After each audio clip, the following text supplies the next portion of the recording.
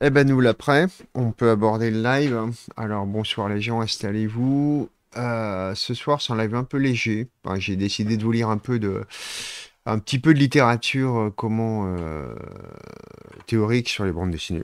Mais au pif, j'ai pris une petite pile. Je ne sais pas encore exactement ce que je vais vous lire. Je suis pas décidé. Je n'ai pas cherché de documentation. En gros, j'ai rien foutu. Euh, il se trouve que ces temps-ci, j'ai énormément de travail, donc j'ai pas le temps de préparer mes lives. Ce qui fait que tous les lives euh, dûment préparés ben, sont à la bourre. Voilà, c'est tout. Qu'est-ce que vous voulez que je vous dise?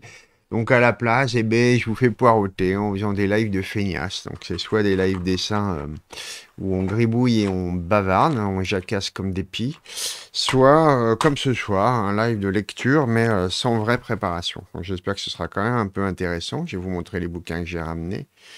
Je vais commencer par mon petit plaisir du mardi soir, c'est-à-dire l'allumage de mon cigare qui va ouvrir cette petite soirée. Je pensais euh, le, fumer tranquillement cet après-midi, euh, parce qu'on a fait une longue promenade, vu que notre campagne est très, très ensoleillée. Je voulais me le fumer en forêt tranquillou, mais euh, je l'ai oublié, je suis con. Donc du coup, je vais le fumer en votre compagnie, comme, comme souvent. Bon, j'espère que vous allez bien, que vous avez passé une bonne journée vous aussi. Qu'il fait aussi beau chez vous que chez moi. Salut Suze C'est ça, Chapeau melon et live de Feignas, une série euh, proposée par l'aile de Mars. Une série passionnante. hein. Salut le dernier des bipèdes. Mais euh, bienvenue. Alors, je vous ai ramené quoi? Plusieurs possibilités. Je vous ai ramené un... Hmm. Alors, un de mes propres bouquins, juste parce que c'est des choses que je vous ai pas lues, c'est des petites, euh, des petits textes assez enlevés, assez généraux. Ça s'appelle euh, Appareil de notes, et euh, ça peut être plus intéressant que les textes au long cours, assez denses que je vous avais lus il y a quelques mois. Donc, ça permet d'aborder des, sujets de toutes sortes, assez différents, qui sont élargissables largement au-delà hein, des questions de bande dessinée, d'une façon générale, euh, aux questions euh, du dessin, de la représentation ou de la narration, mais pas nécessairement. euh. Salut Antalpis, comment tu vas? Pas nécessairement lié aux bandes dessinées elles-mêmes, hein, mais je vous ai amené ça. Ça pourrait être assez marrant de lire ça. J'en ai plus le moins de souvenirs, donc j'aimerais bien le redécouvrir avec vous. Ça m'avait plu lorsque je l'avais découvert il y a très longtemps de ça, notamment parce que globalement, les essais sur les bandes dessinées antérieures euh, aux années 90-2000 viennent pratiquement tous de la même source accablante. Bon, il y a quelques exceptions, hein, il y a la, petite lecture sociologique d'Evelyn Sulero, enfin des choses comme ça, qui peuvent apparaître de temps en temps dans nos lectures. Mais celui-là est assez copieux, c'est pas n'importe qui, c'est euh, le, célèbre euh, lexicographe Alain Ray, monsieur euh, Petit Robert, qui a consacré un essai aux bandes dessinées qui s'appelle Les spectres de la bande. Donc c'était déjà chouette de nous arracher à cette famille un peu envahissante et toujours dans le, dans le champ de, lecture des bandes dessinées, la, quadrature des oiseaux qui compose l'équipe de base de euh, comment des cahiers de la bande dessinée. Avec Alain Ray, on sortait un petit peu et il avait donc aussi un culte, enfin, un, culte, un socle culturel très différent euh, de celui sur lequel se fondait le travail des, euh, des chercheurs, si on peut appeler ça comme ça, hein, des cahiers de la bande dessinée. Non, Monsieur Petit Robert ne s'appelle pas Robert. Tu es, tu es déçu, Suzanne. Il s'appelle Alain Ray. Toi, t'es un meuble. Le plus chouette meuble du monde, alors, quand même. Hein. Meuble de compète, ça. hein. Alors, t'es pas passé depuis un moment. T'as vu le live en surprise. Ok, bah super. T'as un petit peu de temps, mais écoute, j'espère que, que ça t'intéressera, Germain. Je vous ai ramené ça parce que c'est un, un livre qui marque un moment important. Euh, je suis pas certain que les textes soient passionnants. Je pense que c'est plein de malentendus. euh, je pense que cette exposition en elle-même était un immense malentendu. Mais c'est la première grande exposition historique consacrée aux bandes dessinées en France. Je me demande si c'est pas la première dans le monde par ailleurs. Ce bouquin est une absolue rareté. J'ai acheté ça quand j'étais ado, donc on pouvait encore le trouver, mais euh, autant vous dire qu'aujourd'hui, vous pouvez toujours courir. Salut Mandrake. C'est bande dessinée et figuration narrative, qui est le bouquin accompagnant l'organisation de cette exposition en 1967, co-réalisé par euh, Molly Terny et d'autres zozos. Euh, je ne sais plus très bien qui, ça fait longtemps que je me suis plus penché sur cette histoire. Euh, il y est fait mention dans le bouquin de Philippe Capard, sorti récemment à la cinquième, une contre-histoire de la bande dessinée d'Angoulême, et ça m'a donné envie de faire ressortir de ma bibliothèque ceci, donc, et peut-être de redécouvrir ça avec vous aujourd'hui. Sachez que pour composer une exposition consacrée aux bandes dessinées à cette époque, il avait été décidé, c'est quand même une idée assez démente, hors sujet, hors sol, euh, d'agrandir des cases démesurément pour les mettre sur les murs. Euh, s'il y a bien une chose qu'une bande dessinée n'est pas, c'est euh, un mode du dessin seul qui serait isolable comme ça de cette façon. Salut, my name is comme euh, simplement euh, un, mode, enfin une, forme du regard parmi tant d'autres sur une composition plastique euh, arrachable comme ça, salut Coquito Argosum, à son cadre de bande dessinée. C'est absurde, vraiment ça n'a pas de sens du tout. Mais c'est le choix qui avait été fait, on peut imaginer que symboliquement il est fait de cette façon. salut la glandouille pour accompagner une certaine idée euh, symbolique plutôt qu'autre chose, hein, de euh, l'artisticité qui serait au travail à l'intérieur des bandes dessinées. Une forme de concurrence euh, bien malvenue entre différents, différentes disciplines passant par une seule façon, au fond, d'exister socialement sur des murs ou dans des espaces dédiés. Hmm. Alors, Schmidt, le mec des rites, c'est prévu que vous fassiez des comptes de lui. Bah, très très bien. Alors, il est possible aussi qu'on le reçoive. Je ne sais pas encore quels sont les gens du Gaum qui passeront pour la soirée consacrée au Gaum. J'espère qu'elle aura lieu. J'espère que ce sera simple à réaliser. Je pense qu'ils ont tous et toutes des vies extrêmement différentes et que c'est pas simple d'en réunir euh, trois sur un plateau. Ce serait l'idée. Je ne sais pas lesquels vont être disponibles ni même excités par cette idée, mais euh, je ne désespère pas que ce soit euh, qu'il y ait au moins ou Bonne ou Schmidt pour participer à la soirée. Voilà, voilà. Euh, je vous ai chopé ça aussi dans la bibliothèque, un drôle de bouquin. J'ai jamais trop su quoi en penser. Le type, c'est pas euh, spécialement une flèche, mais c'est loin d'être un idiot. De temps en temps, il a vraiment des visions assez euh, lumineuses. Il a des obsessions qui sont complètement ahurissantes. Notamment, il a fait un truc qui s'appelle l'esthétique du cercle dans la bande dessinée, où il va juste traquer des formes circulaires, les superposer les unes aux autres. Ça n'a pas beaucoup de sens, mais c'est assez fascinant de voir euh, à la fois une, espèce de, d'aberration de la méthode et d'opiniâtreté à la conduire jusqu'au bout.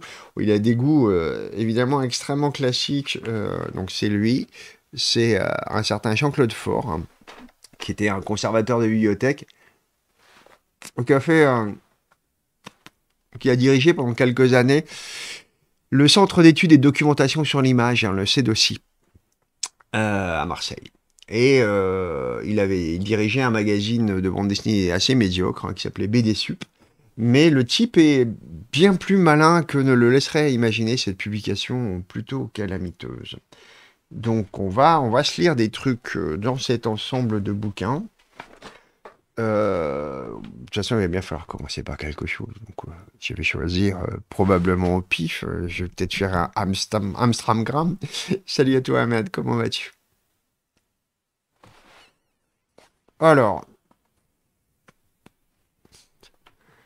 Eh bien, on pourrait peut-être commencer par les spectres de la bande. Alors, dans mes souvenirs, le principal défaut de ce livre était d'être vraiment ancré pas spécialement méthodiquement, mais euh, formellement, c'est-à-dire une certaine façon d'écrire, de, conduire euh, l'organisation euh, du texte savant, était si ancré dans les années dans lesquelles il a été écrit, donc si je me souviens bien, dans les années 70, à la fin des années 70, c'est ça, 78, et ça pouvait devenir assez agaçant au cours de la lecture de voir revenir des tics qui euh, étaient présents dans la totalité hein, des essais savants de cette époque. Donc ils sont euh, des tics euh, d'écriture propres à tous ceux et celles qui ont biberonné au structuralisme. Alors, on va voir ce qu'il en est aujourd'hui, si c'est intéressant de lire ça ou pas. Voyons ça. Alors, si vous avez des questions, évidemment, à tout moment, on peut, on peut avancer euh, dans le texte en, en digressant. hein. Il n'y a aucun problème là-dessus. Donc, les, euh, voyons déjà le, le chapitrage. Quelle est la promesse faite par le livre? Images et illusions. Les préludes du genre. Donc, si c'est de la bande dessinée dont il parle, on a déjà un problème. hein. On ne peut pas considérer que la bande dessinée soit un genre. C'est un, un problème pas seulement euh, d'organisation hiérarchique, mais aussi ensuite d'un problème méthodique qui va être posé par le choix de cette organisation hiérarchique des disciplines. Je dis organisation hiérarchique parce que si la bande dessinée était un genre, il faudrait qu'elle fût le genre de quelque chose d'autre. Donc, euh, en l'occurrence, probablement un genre littéraire. Euh, et ça la subordonne complètement à quelque chose qu'elle n'est pas, la littérature. Et si tel est le cas, on se retrouve bien emmerdé pour euh, comprendre comment un genre peut être euh, capable de faire exister euh, les genres comme problème euh, euh, socio, euh, de l'écriture, vu que les bandes dessinées, évidemment, produisent des récits de tous les genres possibles, comme le font les romans. Donc des bandes dessinées de science-fiction, de romans, d'amour, d'aventure. Euh, comment comprendre ça si on laisse supposer que la bande dessinée est elle-même un genre? Ça ne peut pas fonctionner. Donc on a ensuite iconographie et délire symbolique, consommation, plaisir et scalpel, mise en place, mise au pas, fric et fantasme, l'ordre du songe, chaffol, un en un seul mot, ah, c'est probablement autour de, l'ambiguïté de genre euh, du chat dans Crazy Cat.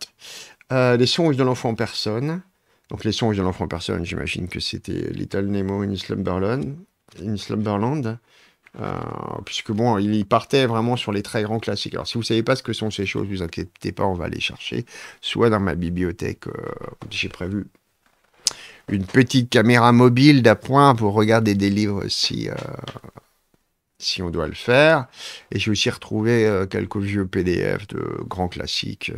Euh, j'ai pas retrouvé mes Outcalt, mais j'ai retrouvé du Topfer ou du Willem Bush si on veut regarder ça un petit peu ensemble. Donc, a priori, si avec Alain Ray, les questions de grands classiques, on ne devrait pas être trop perdu. On va s'arrêter sur ces grands classiques et on les regardera ensemble. Vous n'êtes pas tenus, hein, les unes et les autres, de connaître par cœur l'histoire de ma discipline. Euh, même si je trouve dommage qu'elle soit bien moins connue finalement que, que l'histoire du cinéma ou d'autres disciplines, évidemment.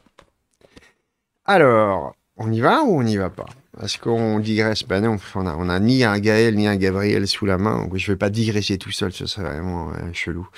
Est-ce que je pense inviter le fantôme de l'arrêt avec Schmitt Ce serait une excellente idée, je suis sûr qu'il est passionnant. En plus, le bouquin il s'appelle Spectre de la bande, je pense qu'ils auraient beaucoup de choses à se raconter. Alors, l'invitation pour le gars m'a déjà été lancée. Euh, reste à savoir euh, pour l'instant qui, euh, à part Pierrot, euh, Pierrot Dietmar, serait, euh, qui est quand même timide, il le dit lui-même, donc pas forcément euh, prompt à venir nous rejoindre. Je sais que ça, le, ça, lui est compliqué d'avoir cette question, alors qu'il est extrêmement à l'aise à l'oral. J'aimerais bien qu'on ait, qu'on ait Maud aussi avec nous. Je vous lirai un, un texte bientôt d'ailleurs d'elle, puisqu'il y a un de ces textes prévu, euh, Maud Pérez-Simon, sur, euh, non pas la scatologie, enfin pas le 4K, mais sur les paix, pour la soirée, euh, pour la soirée consacrée à la scatologie.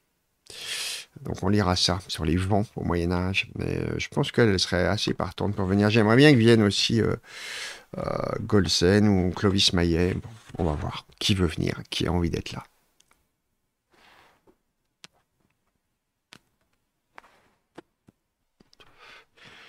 Dessinée, écrite, la bande rompue se déroule sèchement, s'allonge ou s'interrompt pour annoncer une reprise. Les contours familiers du personnage réitèrent le même, est toujours autre, et la banalité tourne au miracle. Donc il essaie de mettre en place une description qui serait, pense-t-il, juste des processus travaillant euh, la construction en image. Il faut savoir, j'ai là-haut aussi le bande dessinée en art séquentiel de Will Eisner, qui est une bande dessinée euh, consacrée à la théorie des bandes dessinées. C'est la première bande dessinée, euh, donc des années 80, je crois, que Eisner, ce petit génie des bandes dessinées, a consacré à notre discipline. Elle n'est pas sans problème. Je ne crois pas, moi, que la bande dessinée soit un art séquentiel. En tout cas, c'est réducteur de l'avoir comme ça. Ça pose des problèmes des problèmes théoriques. Notamment, euh, ça rabat la question euh, de l'organisation euh, des vacuoles d'écriture en bande dessinée sous l'autorité du temps. Or, la bande dessinée n'est pas un art du temps, mais un art de la durée, ce qui n'est pas tout à fait la même chose. de ça, on pourra en parler ensemble à mesure qu'on lira à l'arrêt.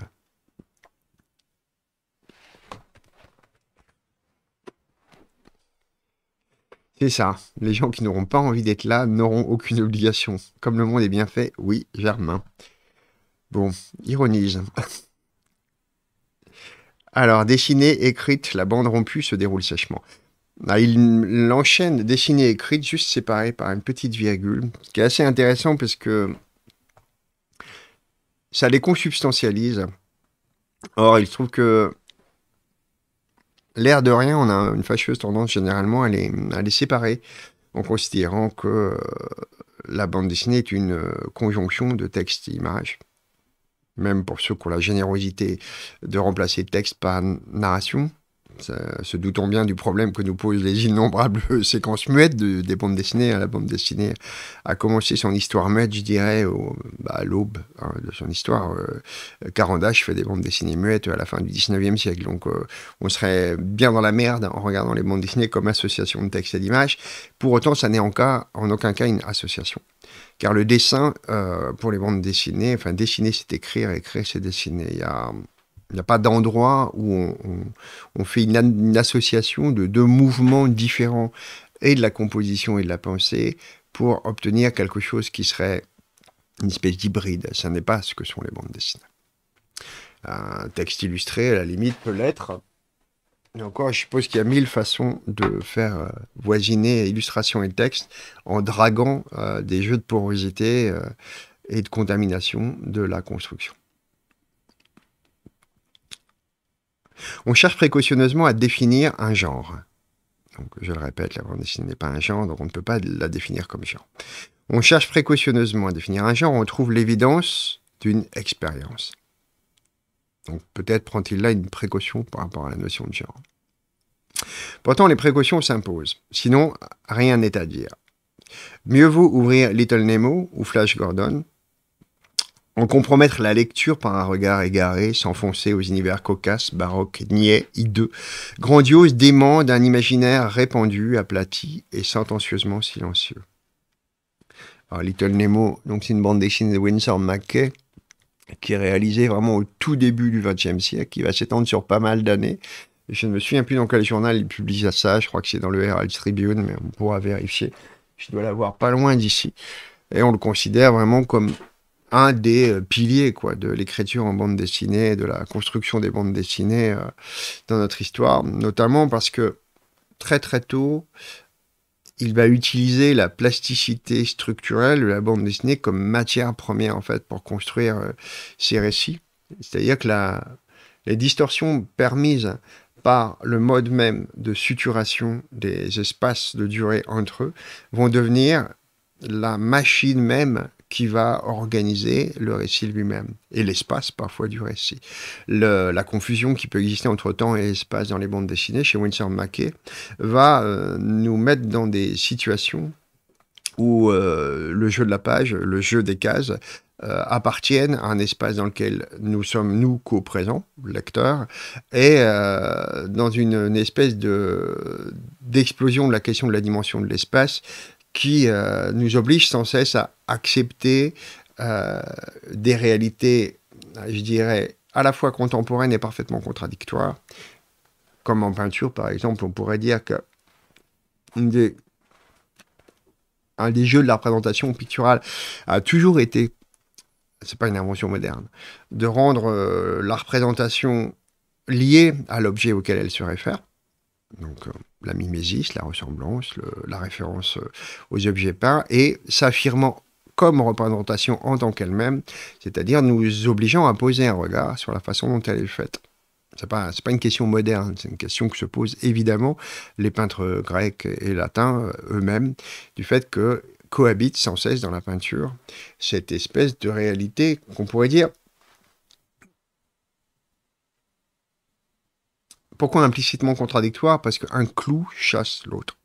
Le, caractère immersif de l'une est détruit dès l'instant où ça tarde sur l'autre, dès l'instant où, on, quitte le moment d'immersion de la mimésis, de la représentation euh, en tant qu'elle est liée à un monde d'objets auquel elle se réfère, pour constater la peinture, la croûte, l'épaisseur, eh bien nous perdons, euh, j'allais dire, la candeur, la naïveté immersive. De même que dans un récit, littéraire, plongé dans le récit. Dès lors que vous faites attention à ce qu'on appelle les styles de l'écrivain, on pourra revenir sur la question du style si elle vous intéresse, mais euh, on perd instantanément le moment d'immersion qui nous était offert par la participation euh, à la représentation, à la diocèse, à, l'histoire qui nous est racontée, à la familiarité avec des corps, euh, des corps de fiction.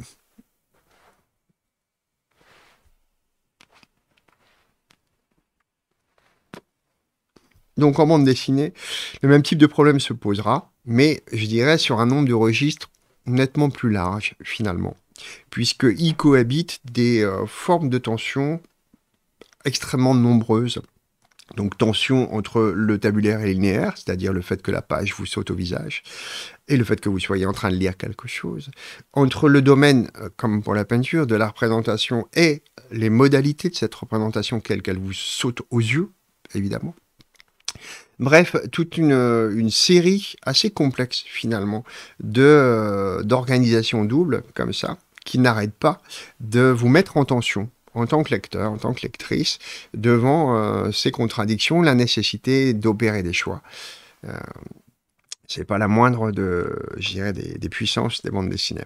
Euh, notons que l'autre auteur dont il est question, Flash Gordon, c'est Alex Raymond, dont je vous ai déjà parlé à plusieurs reprises. C'est une de ses grandes réalisations. On a parlé de Rip Kirby euh, déjà. Flash Gordon, j'imagine que vous en avez déjà entendu parler. Salut Solarius.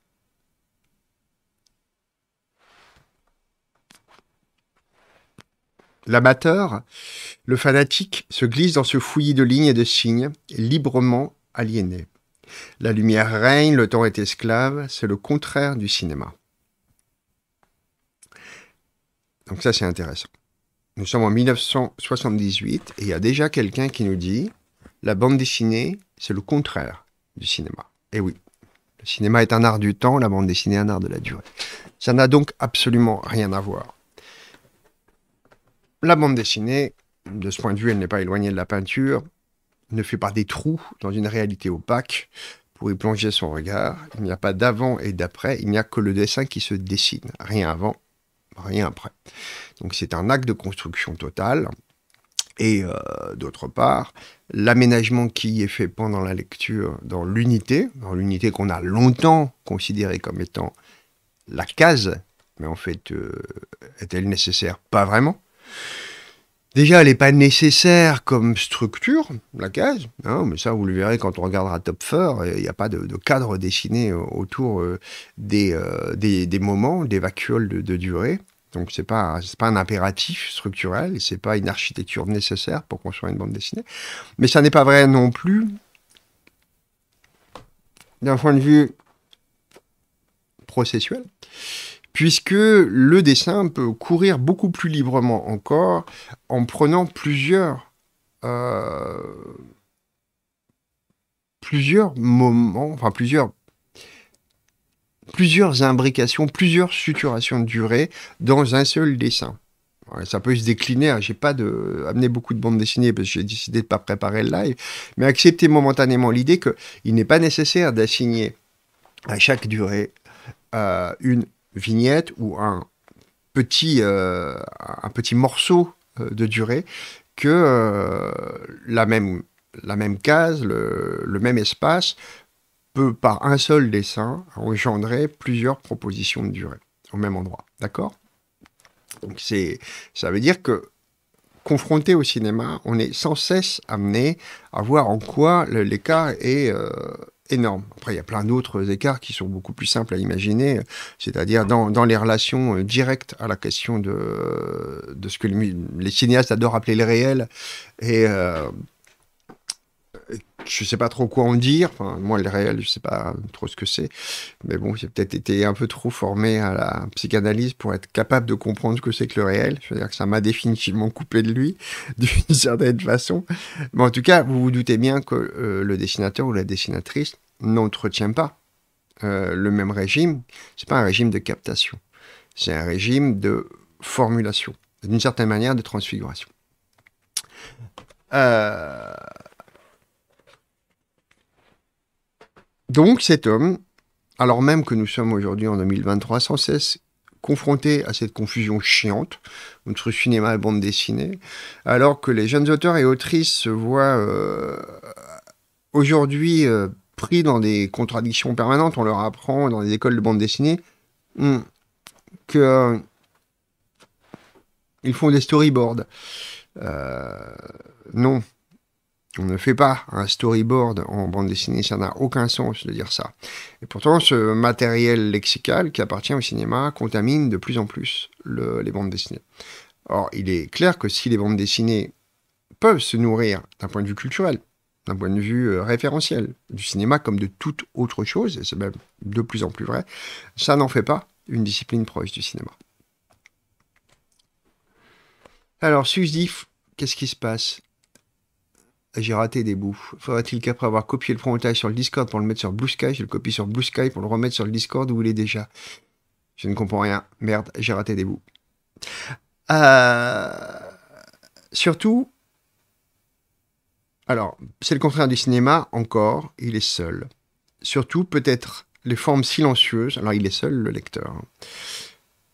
Surtout, peut-être les formes silencieuses ne sont animées que par lui, voyant plus que lecteur, donc voyant plus que lecteur. Et leur rapport au monde des apparences est toujours dé et reformé. Les fantasmes sont plus forts d'être finis, les délires calibrés. Avant toute œuvre, les codes qui la gèrent. Des conditions terriblement complexes organisent l'espace rubané des pages jusqu'au déchaînement derrière les grilles. Je l'ai dit, de grilles, il n'est pas forcément nécessaire hein, de, disposer.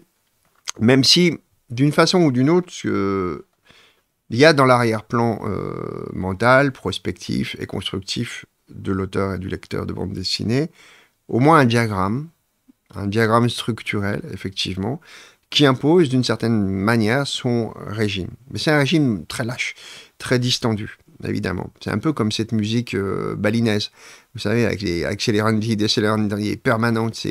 Vous avez euh, une composition qui va se dérouler euh, dans un certain, une certaine temporalité, mais à cause de l'accélération ou de la décélération des, des tempi, il y a des zones de compression comme ça, qui dans un même, un même moment propose un sentiment étrange d'invagination de la musique à cet endroit-là. Les bandes dessinées, par rapport à la question de la durée, n'arrêtent pas de faire ça. Hein. Et quand il parle de code qui gère les bandes dessinées, c'est une question assez complexe. Peut-être qu'elle touche tous les arts. Salut Sarah, je t'avais pas vu. Peut-être qu'elle touche tous les arts, mais j'ai l'impression que la question du code, euh, c'est-à-dire des règles, des règles du jeu, est plus insaisissable encore que, pour les autres disciplines. On l'a fait courte. Je vous ai dit souvent que euh, la caractéristique générale des arts, et même de l'art comme méta-catégorie, c'est d'être inlassablement euh, conservatrice de la catégorie, pour pouvoir exister comme telle, et révolutionnaire de la définition. Mais à l'intérieur des disciplines, c'est pareil. C'est le même mouvement. C'est-à-dire que des choses qui n'étaient pas là finissent par y rentrer pour rien au monde on aurait fait rentrer dans le champ de la peinture, d'un seul coup, sont acceptés comme peinture. C'est le cas, par exemple, des peintures collagistes, des cubistes.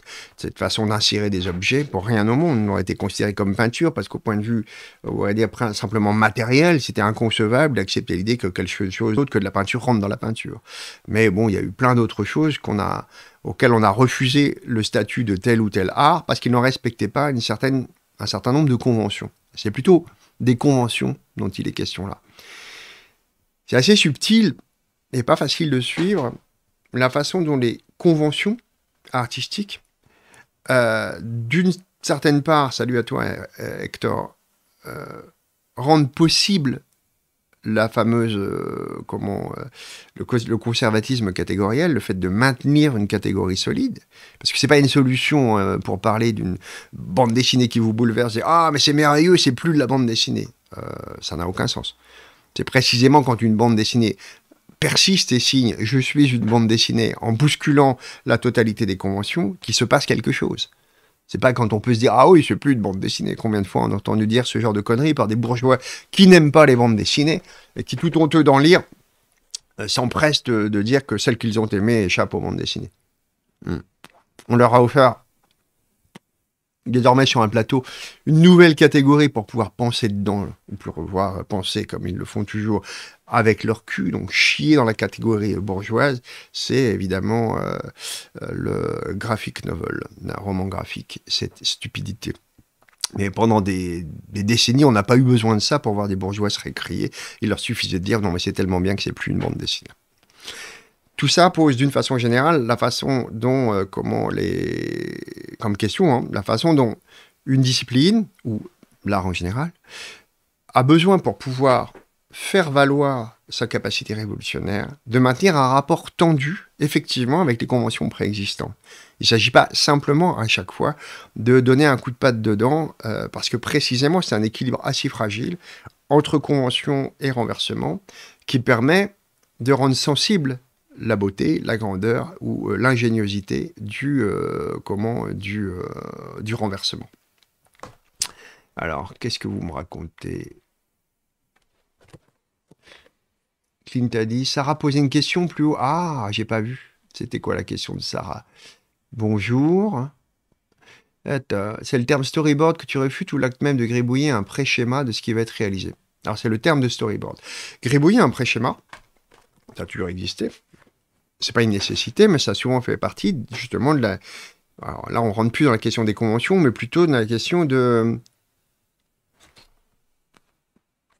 la bonne manière, la bonne façon de faire les choses telle qu'elle est déconventionnellement admise pour la discipline bande dessinée. On se serait fait engueuler dans les années 80 si on n'avait pas suivi scrupuleusement cette méthode. Pas question d'improviser, pas question de se jeter comme un goret sur une planche en pleine impro avec ses couleurs euh, sans avoir préétabli un, certain ordre hein, de la construction.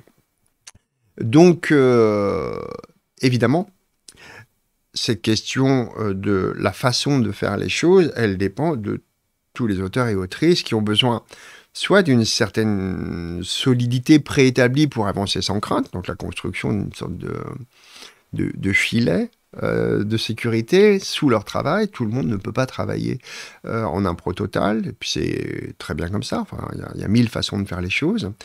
Et donc, prévoir une certaine avancée peut être nécessaire, notamment quand tu as une vision, euh, disons, plutôt intellectuelle de la construction d'un récit, tu peux avoir besoin des pages et des pages à l'avance de, penser la façon dont s'enchaîner euh, les constructions, l'organisation tabulaire de la planche, enfin de la double planche, parce que l'unité en bande dessinée, c'est pas la planche, en vérité, c'est plutôt la double planche. Hein. c'est comme ça qu'on doit se représenter la façon dont bah, dont votre euh, construction va apparaître hein, au lecteur ou à la lectrice. Donc vous devez tenir compte de la cohabitation des planches qu'on construisait et construire donc au début euh, un premier jet, un synopsis, puis euh, après, après ce, premier jet, une abatie qui peut soit de faire directement à l'échelle, soit tout simplement être un ensemble de notes prises sur un carnet, ça, ça fait partie des euh, fondamentaux dans l'apprentissage, de la construction plus ou moins traditionnelle d'une bande dessinée, on va dire, d'un point de vue purement méthodique. Voilà. c'est encore autre chose de penser, comme je le disais, la méthode, méthode de travail, et euh, de penser euh, les règles, c'est-à-dire ce que doit être conventionnellement ou pas, selon les normes du moment, hein, une bonne bande dessinée. D'accord? Alors, je viens vous parler d'Henri. Mais alors, Henri euh, n'est pas à proprement parler une bande dessinée. C'est un livre illustré pour enfants. Donc, moi, je ne l'ai jamais considéré comme une bande dessinée. voilà, on sort, on sort du cadre avec ce livre-là. Euh, donc, le terme de storyboard est désastreux parce que le cinéma est, un, est une discipline qui euh, rend nécessaire d'avoir un rapport avec un matériau extérieur. Le terme matériau, on va le prendre au sens très élargi. Hein. Il ne signifie pas qu'il y a un rapport de complexité euh, quelconque euh, avec ce dont vous emparez. Ce qui statue pour le matériau, c'est l'organisation même d'une discipline et à partir de quoi elle part pour constituer son travail. Donc c'est ça qui fait matériau le matériau. C'est pas son degré, euh, son degré de complexité plus ou moins grand. Ce matériau avec lequel vous allez travailler doit être capté. Ça veut dire que vous êtes absolument dépendant euh, avec ce matériau d'un ensemble de conditions extérieures euh, au cadre de votre propre modalité de représentation, qui sont acteurs, paysages, lumière extérieure, etc. Et euh, vous allez produire des captations dans lesquelles vous allez trancher. De l'avant et de l'après existent. À quoi appartiennent les propositions de ce matériau Avant la prise, après la prise, le monde a commencé, le monde continue d'exister et se déroule. Euh, il y a un en dehors permanent qui déborde. C'est pour ça que c'est aussi, en tant qu'art du temps, le travail du montage qui va aboutir à votre euh, empire. Vous produisez votre empire à ce moment-là par le montage d'une causalité extérieure, si vous voulez. Le storyboard anticipe tout ça, c'est-à-dire anticipe la manière dont vous allez produire des bonnes circonstances de cette captation, c'est-à-dire euh, comment vous allez organiser votre plateau, comment vous allez poser vos caméras, etc. Un dessinateur n'a pas de caméra un dessinateur n'a pas d'avant et d'après de ses vacuoles de durée à proposer. les bandes dessinées ne travaillent pas sous la, subordination de causalité extérieure et euh, il n'est pas soumis au, euh, au déroulement d'un temps qui lui échappe pour construire sa durée.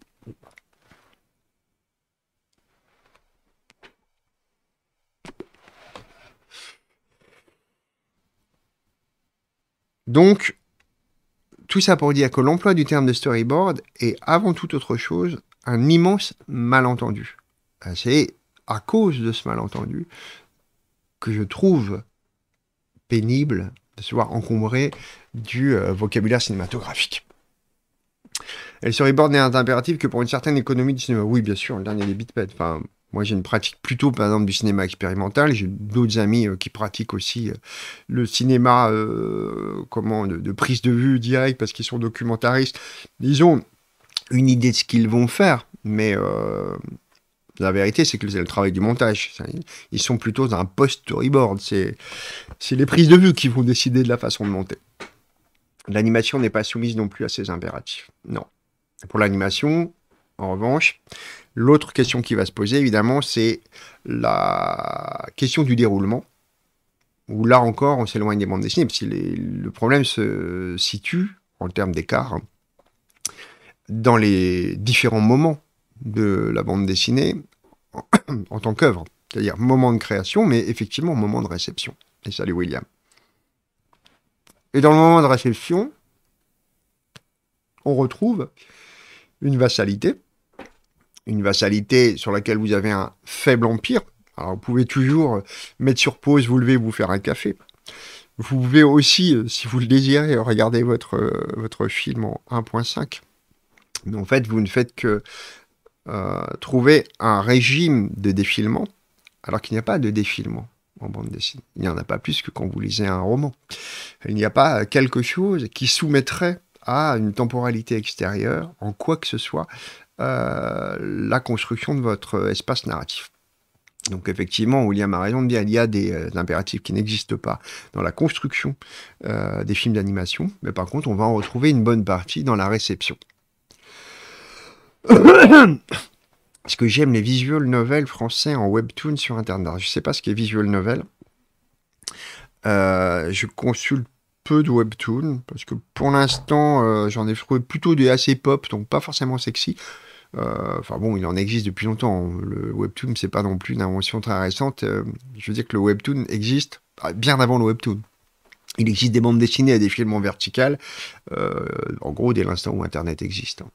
Je vous renvoie là, je sais pas, moi, bande dessinée de Katika dans les années 90, à base de Polaroid, ou ou tout simplement à celles de Julien Meunier qui sont dans le terrier.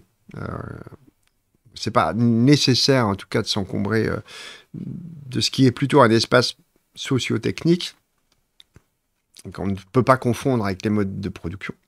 Hein, ça peut les accueillir, mais les modes de production sont antérieurs à l'espace socio-technique et euh, le webtoon. Donc je n'ai pas de pensée générale du truc parce que j'ai pas de pratique générale du truc il y a euh, tout un pan de la jeune création qui s'intéresse de très près à des formes euh, améliorées euh, de, ces rencontres entre les dispositifs techniques en ligne et la production en bande dessinée. Ça peut donner la collection RVB chez Hecatombe, par exemple, où on arrive à un certain degré de complexité adjoignant à la lecture d'autres actions possibles hein, sur le matériel là, on, touche à une discipline qui est particulièrement difficile à, analyser, puisque pour l'heure, elle, euh, je dirais qu'elle fait cohabiter un grand nombre de propositions qui peuvent appartenir à, des conceptions assez différentes les unes des autres, des durées euh, correspondant à, différentes disciplines. Donc je pense que ça nécessiterait une approche théorique spécifique. Alors, il y a quelqu'un qui se penche dessus depuis quelques années. Euh, c'est euh, comment Tony Rajol, euh, qui a fait pas mal de trucs sur le sujet. C'est vous le voyez passer parfois dans les dans les lives sous le nom de Pictony, et il a pas mal pensé à ces questions-là. Enfin, c'est ce qui l'intéresse le plus, lui, les bandes dessinées en ligne et les dispositifs d'intervention des lecteurs, de la lectrice sur les bandes dessinées pour en changer le cours, pour y intervenir, etc. Donc là encore, pas de, j'ai pas d'idée générale là-dessus, Solarius. D'une manière générale, j'ai pas d'idée euh, comment. Euh, mais je peux pas répondre à des questions aussi vastes que est-ce que j'aime les bandes dessinées Bah non, ça n'a pas de sens. Euh, c'est œuvre par œuvre que la question va se poser pour moi. J'aime pas plus les bandes dessinées que je n'aime les euh, romans, les essais. Euh.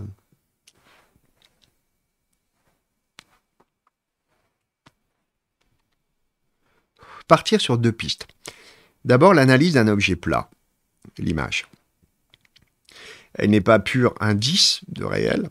Donc, indice de réel, on indice, là, on est vraiment dans la, partition euh, icône, indice de la comment oh, de la tripartition de la théorie de l'image de Peirce, donc euh, qui est la marque de quelque chose ayant eu lieu et la façon dont elle s'emprunte hein, dans, euh, dans le matériau visuel comme image.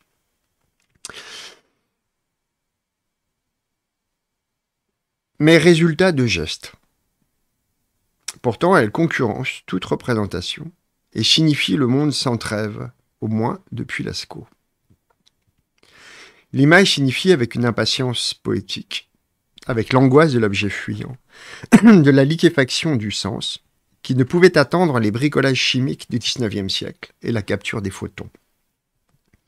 L'image donc dans son étymologie folle.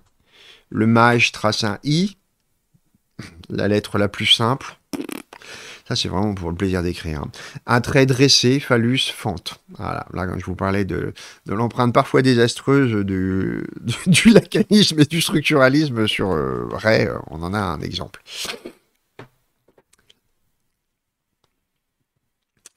D'un geste, l'espace se brise, la division commence.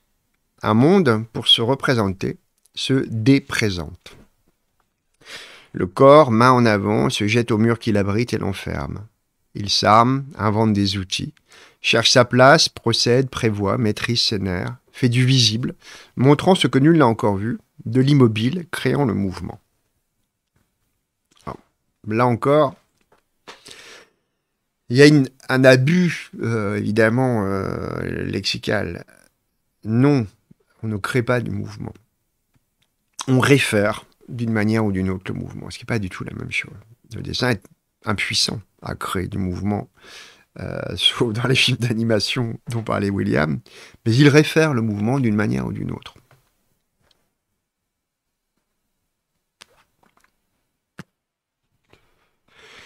Il permet d'unir par le verbe aussi l'image d'illusion avec l'imaginaire. Sur les parois hospitalières et écrasantes d'Altamira, tout est déjà joué. Deux dimensions font la troisième, le geste de la main est fixé sur la roche. Et cette immobilité est la vie même, en bondissement possible de bêtes. Les couleurs de la nature emprisonnées, broyées, dénaturalisées, signifient une autre nature, une lumière ailleurs et des soleils inépuisables. Sans peine aucune, les formes écrasantes de la grotte viennent en aide au créateur, par le graphe et l'astuce. Ils volent à la géologie un art, la sculpture. Le dessin est dessin. le dessin EIN et le dessin IN, donc. Hein. D'imaginante, l'image devient imagée, avant de foisonner pour tout voyeur, pendant des siècles, en millions d'imaginaires. Les barres et les courbes de la main, mages, ont engendré les mondes pour l'homme.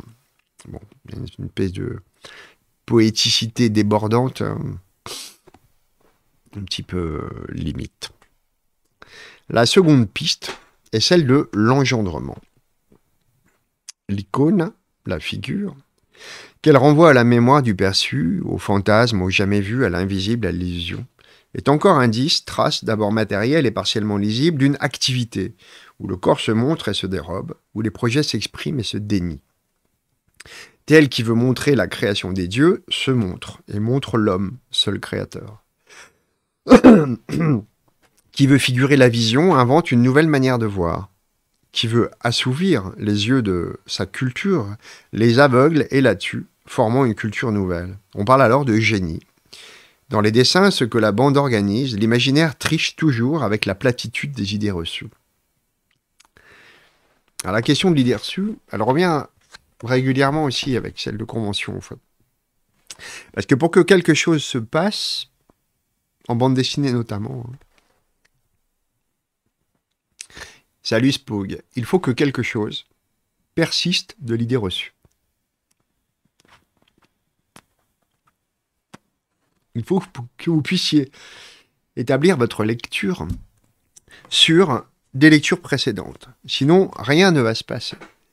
J'ai souvent vu à quel point il était difficile pour des gens qui lisent peu de bandes dessinées de les lire, c'est-à-dire d'en comprendre effectivement tout le substrat historique qui va constituer des habitudes de lecture, des usages euh, de l'enchaînement du regard et euh, de ce lit-regarder qui constitue le mode d'appréhension des bandes dessinées, et notamment à cause de ce chassé-croisé constant entre l'espace conventionnel qui structure les lectures précédentes, donc qui s'inscrivent dans une histoire, et la possibilité de les déjouer pour l'auteur et d'y trouver un mode de déplacement pour le lecteur. C'est aussi là que s'introduit la question assez complexe et probablement plutôt illusoire d'une grammaticalisation des bandes dessinées, celle qui ferait croire qu'il y a une codification d'un certain nombre de signes euh, qui sont des repères, des lieux communs repérés, nous permettant de dire qu'on a affaire à telle modalité du déplacement, telle euh, effervescence d'un sentiment, telle euh, salut à toi Louisa, telle façon d'être invité à lire à lire regarder la planche d'un endroit à un autre de celle-ci. Mais en fait, ces notions sont solubles aussi dans leur transformation et dans leur mise à mal par les bandes dessinées, sans qu'en fait ça pose de problème. Pour que ça pose peu de problèmes, il faut précisément trouver la juste distance entre le maintien des conventions et leur plasticité interne qui existe. Le signe euh, de la petite boucle d'Hergé est un exemple qui ne lui appartient pas en propre, mais dont il a usé et abusé, est typique de, euh, de l'émanata euh, polysémique dans laquelle vous pouvez fourrer finalement un nombre absolument extraordinaire de choses parce que vous n'allez pas cesser de construire des nouveaux agencements, des nouvelles configurations dans lesquelles eh bien, il prendra un autre sens. Il viendra s'articuler à d'autres sens. D'autres domaines, le phylactère, qui n'est pas non plus une nécessité. On peut tout à fait construire une bande dessinée sans phylactère. On peut écrire le texte librement dans la case. On verra si on regarde du top tout à l'heure que il peut aussi bien être écrit sous euh, les cases. Enfin, ça n'est pas si important que ça. Mais le phylactère, une fois qu'il est posé, il est du dessin. Il est à la fois une convention qui rattache la vocalisation, l'oralisation, l'énonciation à une figure, un personnage, un ensemble. Mais une fois tracé, irrémédiablement, il est un objet plastique qui fait partie de l'environnement, euh, qui peut vivre toutes sortes de transformations et gagner une certaine autonomie.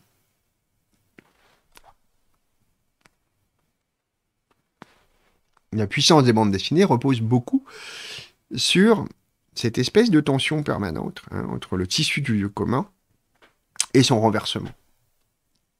D'une manière générale, le, lieu commun, c'est vraiment une chose assez intéressante. C'est-à-dire que dès l'instant où on ne se satisfait pas juste du caractère pratique du raccourci euh, culturel qui vous permet de retrouver une vieille chansonnette des usages à laquelle vous êtes habitué, en gros, dès l'instant où vous n'êtes pas sans cesse euh, comment euh, en train d'attendre la récompense de ce que vous savez déjà sous la forme de la connotation. Vous savez qu'une bulle, c'est une bulle, un phylactère, donc un phylactère.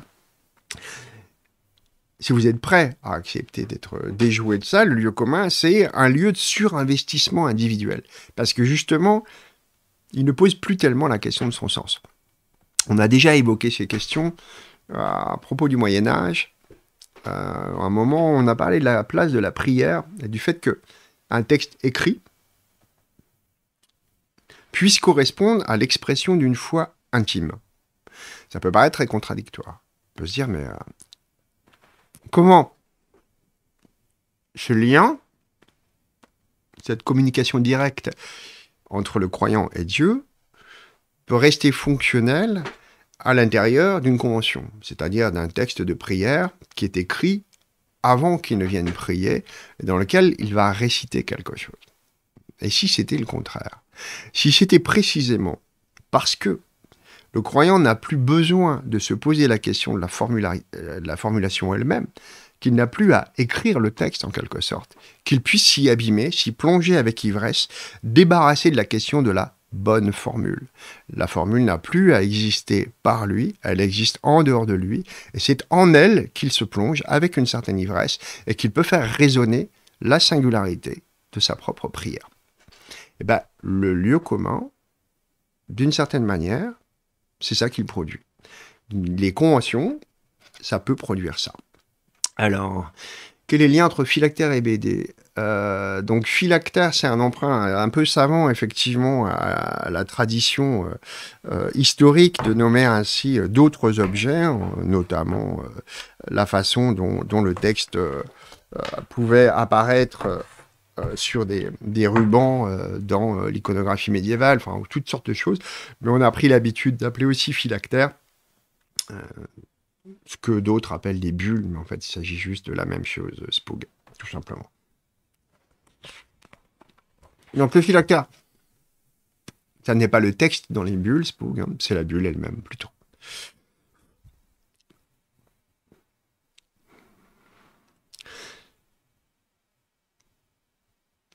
Dans les dessins, ce que la bande organise, l'imaginaire triche toujours avec la platitude des idées reçues.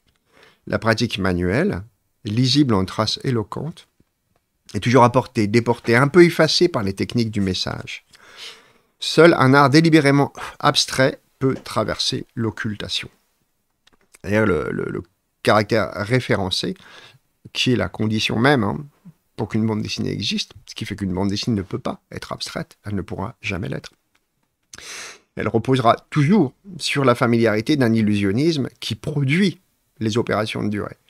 Sinon, vous avez juste affaire à un panoptique, c'est-à-dire un ensemble d'images juxtaposées. Ce qui va faire toute la différence entre une collection d'images assemblées sur le mur d'un cabinet de curiosité et une bande dessinée, c'est précisément le fait qu'il y a un illusionnisme qui persiste toujours, c'est celui euh, du référent de la durée qui va les lier entre elles et constituer la solide base de la référence à un mouvement. Mouvement au sens vraiment très très large. Je ne parle pas que du mouvement des corps, hein, mais du mouvement de l'énonciation, euh, du mouvement du récit, etc. etc.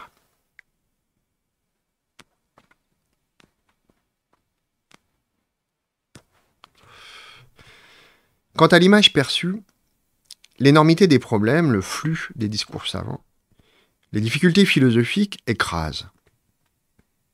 Mais la question de l'image visible me déborde. Elle concerne le principal système, hors langage, qui élabore et transmet l'information parmi nous. Elle couvre des pratiques et des techniques nombreuses, elle assume des finalités opposées, de l'art à la publicité. elle relie l'activité mentale du sujet à tout objet perceptible et imaginable, iconisable. C'est-à-dire la totalité en fait hein, de ce qui apparaît à la surface de la page pour la bande dessinée.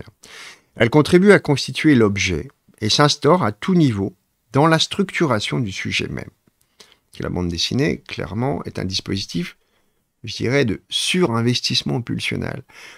Euh, ce qui est attendu du lecteur, c'est réellement une capacité toujours plus grande, au fond, d'investir tout ce qui se passe euh, dans la trame plastique à la surface du papier pour faire exister euh, quelque chose qui, qui va être le récit lui-même. C'est assez complexe parce que un dessin n'est pas un code. Voilà. Il euh, n'y a pas une grammaire du dessin, il n'y a pas. il euh, n'y a pas quelque chose qui serait comme une relation insignifiant-insignifié avec une espèce de, rigueur euh, constitutionnelle, quasiment, hein, de, des liens entre, entre le sens qui se déroule et la forme que ça prend le livre que je lis, c'est Les spectres de la bande de Alain. C'est un bouquin qui est sorti en 78 chez Minuit, consacré aux bandes dessinées.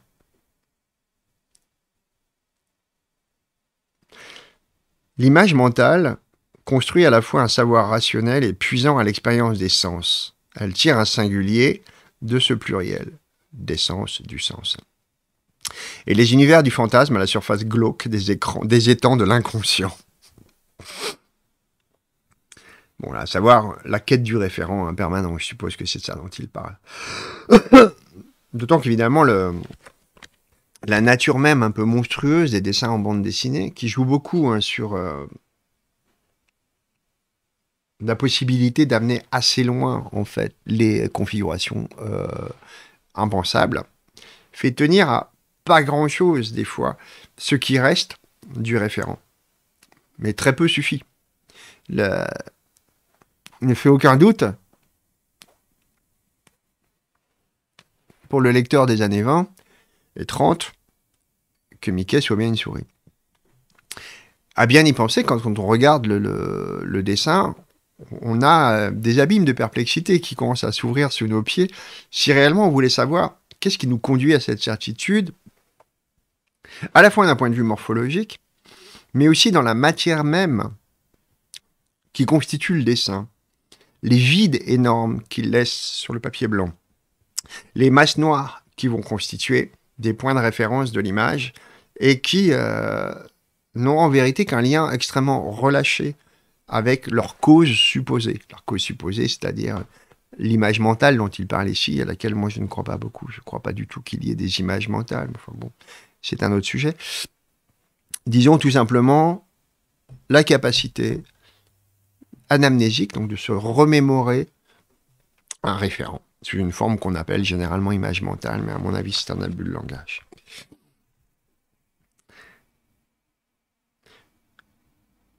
On la retrouve, l'image, le lecteur vient de la subir, un peu ridicule à la ligne précédente. Prise en charge par les codages rhétoriques dans la forme de tout discours et jusqu'au tréfonds archaïque du lexique. Le canal visuel où se déplace de sujet à sujet l'information, au monde objectal fonctionne dans un certain stade de l'évolution, dans une certaine complexité neurologique. ces organismes, avec des yeux pour voir, ont un nouveau rapport au monde. Les espèces vivantes dont le système nerveux central est assez riche pour se payer ce luxe élaborent leur relation au milieu externe de plus en plus fortement par l'optique. L'homme a privilégié ce canal, affaiblissant d'autres systèmes, chimiques, tactiles. Il a équilibré son monde par l'ouïe et la vue. Doué de langage, il a trouvé le moyen de maîtriser dans le temps ce bruit articulé, le plus signifiant de son univers, et d'affiner sa pratique du geste, productrice de visibles, jusqu'à pouvoir tracer l'analogon de sa voix. Alors un analogon, c'est une image qui vaut pour une autre. Voilà.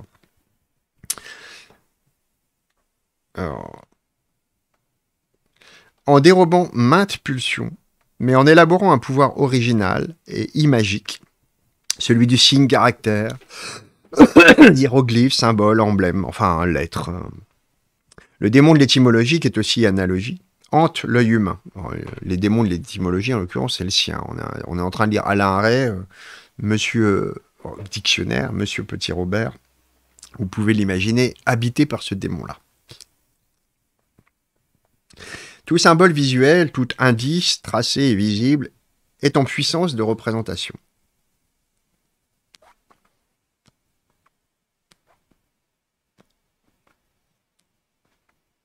Le figural se glisse sous chaque signe.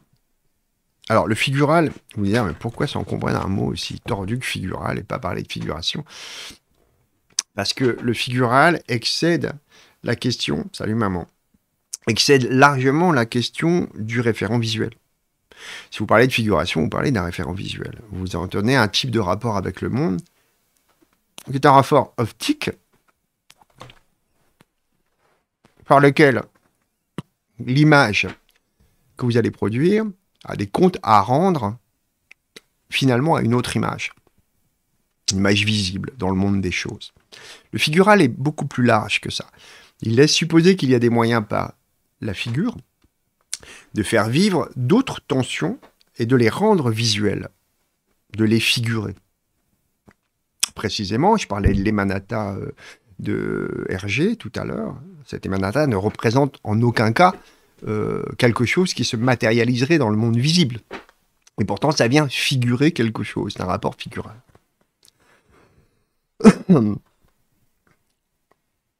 L'arbitraire éclatant dans la comparaison des systèmes d'écriture, quant à un signifié d'ailleurs compromis par le grand mythe, blabla papa, s'effrite devant une évidence irréductible.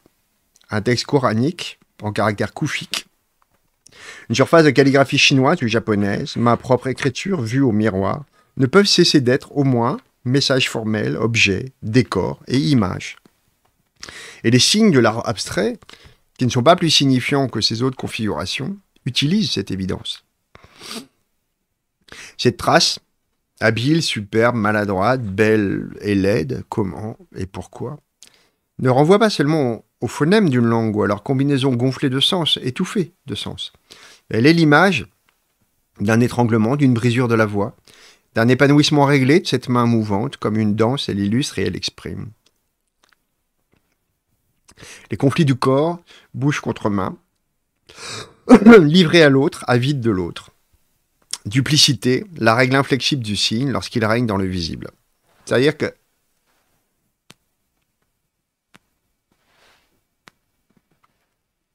s'il y a un tracé, quelle que soit sa prétention à s'abstraire, on est d'accord Notamment si on parle de lettres, etc.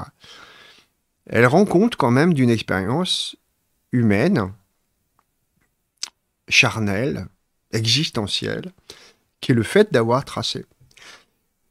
Évidemment, par l'usage, on jette dans le champ du parasitaire, de l'anodin, de l'inexistant, du euh, latéral, de l'oubliable, tout ce monde-là, sous peine de voir trop crépiter le sens à chaque fois que nous avons affaire à euh, une émission d'images quelconque. Notamment quand il s'agit d'images qu'on voudrait intégralement assujettir au sens, comme l'écriture. Et pourtant, dès lors qu'on y prête un peu attention, elle signifie bien d'autres choses que quelqu'un a écrit que tout un monde s'est organisé autour de la pose des lettres, s'il s'agit de typographie au plomb, d'un tracé manuel et donc d'un vrai corps qui s'est mobilisé dans l'espace pour la faire apparaître. Désolé de faire chier, tu peux-tu taper le nom du livre? Oui, je peux faire ça. Ah voilà, si je l'ai fait, c'est ça. Merci. Et il dit cette chose très, juste par la suite. Hein. Vous allez voir. En dehors de tout symbolisme, de tout symptôme, son aperception déclenche une signifiance qu'il tient de sa forme. Il est toujours aussi analogon et figure. Il contribue au tableau. En ceci, point d'art abstrait. À propos de ce, ce dont je viens vous parler. Toute vision est matière à image. Toute image signifie cet ailleurs dont elle est l'image, qui peut être euh, inconnu, mystérieux, aveuglé, ténébreux, inconcevable. Quant à l'art classique, au cinéma en général, à la photo, au roman photo, à la bande dessinée, la chose est claire, trop claire. Toute image présente ou représente s'organise en figure. Je dirais personnellement plutôt présente et représente tout le temps. Ce qui est présenté peut être reconnaissable par toute la culture, ou par quelques-uns, que sélectionne un ésotérisme ou le hasard des fantasmes. C'est-à-dire que ésotérisme veut dire par là qu'on a été initié à cette galerie de formes et de signes pour pouvoir les lire, tout simplement. Ou que tout simplement, par hasard des fantasmes, des projections soient partagées sans qu'elles soient passées par une éducation quelconque à la consommation de ces signes. Il peut même être perdu pour toute consommation. Il y a, autant dire qu'il y a énormément de choses qui se perdent dans une image, ça n'a pas d'importance. Toutes les choses qui apparaissent à la surface n'ont pas pour vocation d'être euh, transformées en sens. Donc les, exigences de sens en général devant l'art sont absurdes. on ne sait pas où, on ferait arrêter cette espèce de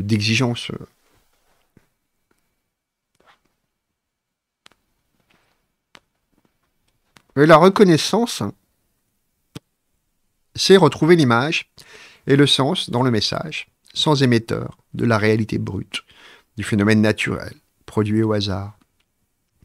La lecture toujours possible de l'illisible garantit l'illisibilité de toute figure.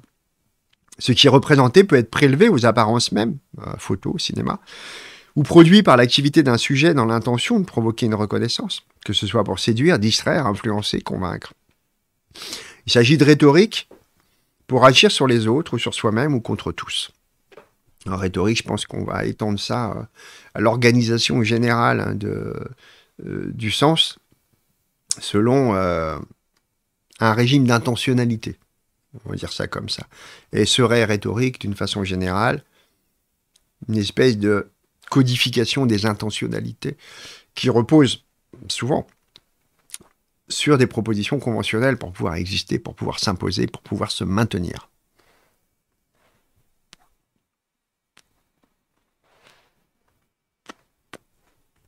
Toujours, dans ces domaines, l'image renvoie à l'image mentale, le signe imageant au signe imagé, son interprétant, par là au vu et à la vision, au su et au révélé, au perçu et à l'imaginaire, ce qui n'épuise pas sa signifiance. Frontalier du dessin et de la peinture, l'art de la bande dessinée, comme celui de tout dessinateur ou peintre figuratif, procède par réseau de traces sur une surface limitée.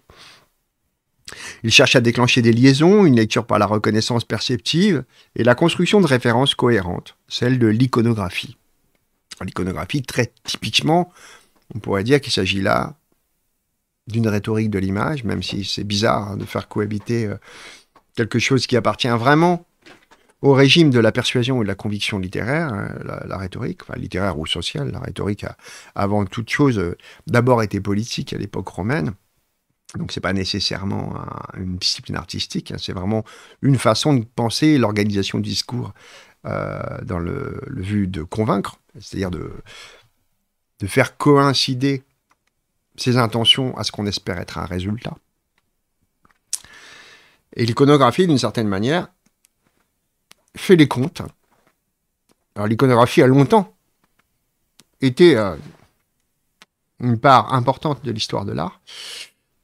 Elle consistait d'une certaine façon à euh, faire une espèce de taxinomie comme ça, de, de, description de ce qui avait été utilisé, de la place symbolique en gros que ça prend tout au long de l'histoire pour euh, un sens inlassablement à reconquérir d'une certaine façon. Ce caractère fondateur s'insère dans une spécificité, où les rapports entre image du monde visible et euh, image des bruits interprétés du langage, écriture, avec des structures narratives sous-jacentes, jouent un rôle essentiel. Avant le compréhensible et le connaissable liés, avant les codages culturels, ceux de l'anthropologie, certes culturelle aussi, hein, la théorie de la figuration est multiple. Là, je vous renvoie à d'autres lives hein, où on a longuement parlé de la question de la mimésis, euh, notamment quand on a fait, je crois, les lives sur euh, forme de l'intention avec Baxendal. Donc là, allez directement sur le, sur la chaîne YouTube, vous verrez tous les lives sur Baxandal, on y parle beaucoup des euh, multiples aspects de la mimésis et, qu'est-ce qu'on, en gros, qu'est-ce qu'on représente de l'objet quand on représente cet objet? Qu'est-ce qui de lui est moteur en fait des conditions même imaginaires finalement de la représentation. Rendre compte des conditions qui président à la formation d'une image sur son support est une chose. Découvrir celles qui régissent sa perception, son analyse, son interprétation, une toute autre. Puis, l'encodage comme le décodage peuvent être envisagés du point de vue mental, ou génétiquement, ou encore en rapport avec l'inconscient.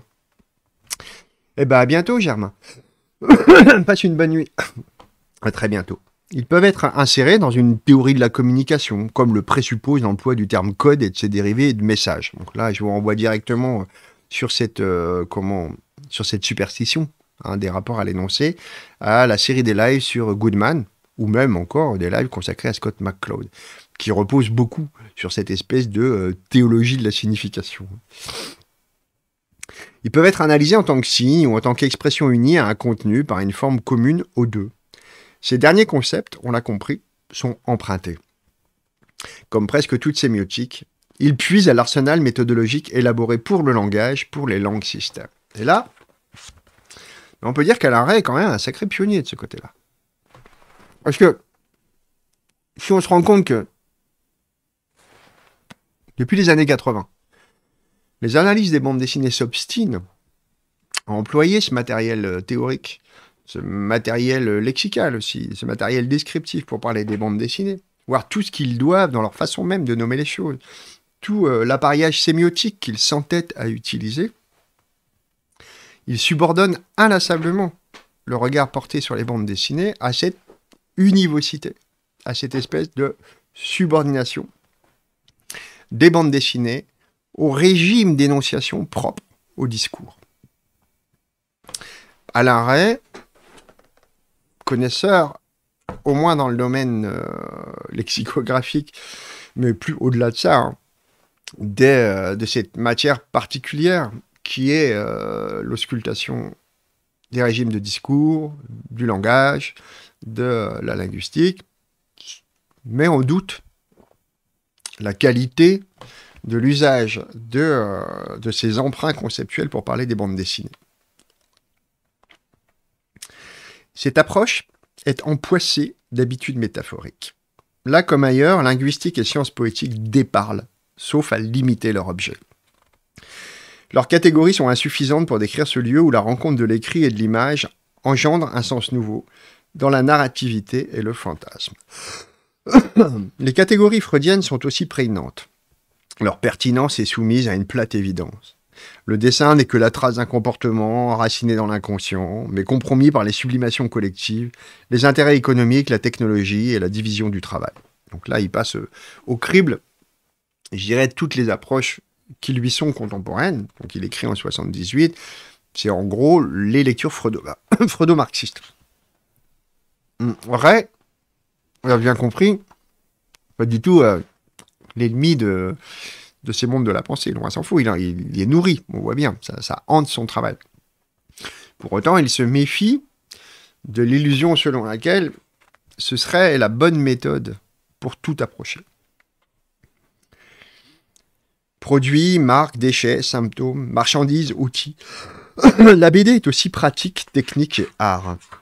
Une esthétique qui la vise doit maîtriser sa complexité et s'enraciner dans le primitif illusion, échange de névroses, circulation mytho-économique. L'illusion et l'art ont vécu l'un de l'autre. L'art s'est levé parmi les arts, comme on le voit à retracer l'histoire du mot art, comme technique d'illusion.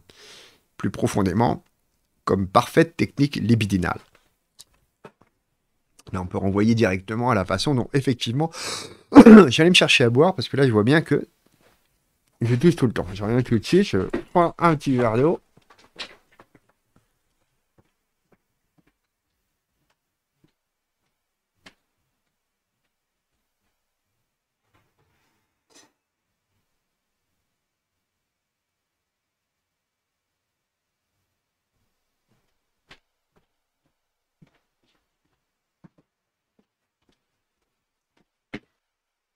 Ah mais ça ne va pas, cette affaire.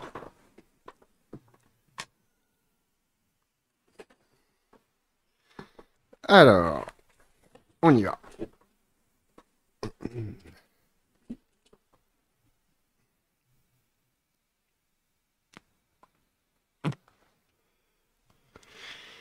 Sa première conscience fut le pouvoir d'agir sur le monde et sur l'homme, en fixant par le geste et le logos inspiré.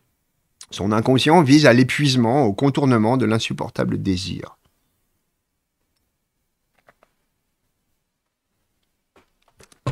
Alors l'épuisement, évidemment, est toujours illusoire. Mais disons que peut-être qu'il est au travail dans euh, la totalité euh, des disciplines artistiques. Une espèce de tentative d'épuisement du monde par, euh, je dirais, par la multiplication des formulations, des rapports qu'on entretient avec lui. Mais évidemment, pourquoi c'est inépuisable? Ben, C'est inépuisable parce que les œuvres d'art font partie du monde. Donc chacun de ces mouvements ne fait qu'agrandir le monde et de rendre encore plus impossible et plus inépuisable hein, la multiplicité des formulations de ce désir. Évidemment. Désir inépuisable est toujours renaissant, jusqu'à la Renaissance. Tant où l'espace occidental du fantasme, toujours présent caché, derrière le lieu à plat de la lettre, l'envahit, le gauchit, suscite d'autres textualités, elles-mêmes fantasmées, ouvertement, et non plus légales. Puis l'espace se dérobe et se fige en construction légitime et géométrale.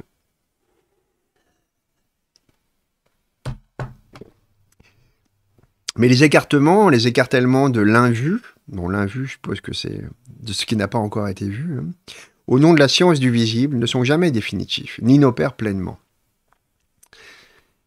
Vasari, flic génial, pauvre peintre, ne peut fermer dans son discours celui de Léonard ou de Michel-Ange, traître au savoir sublime de la géométrie.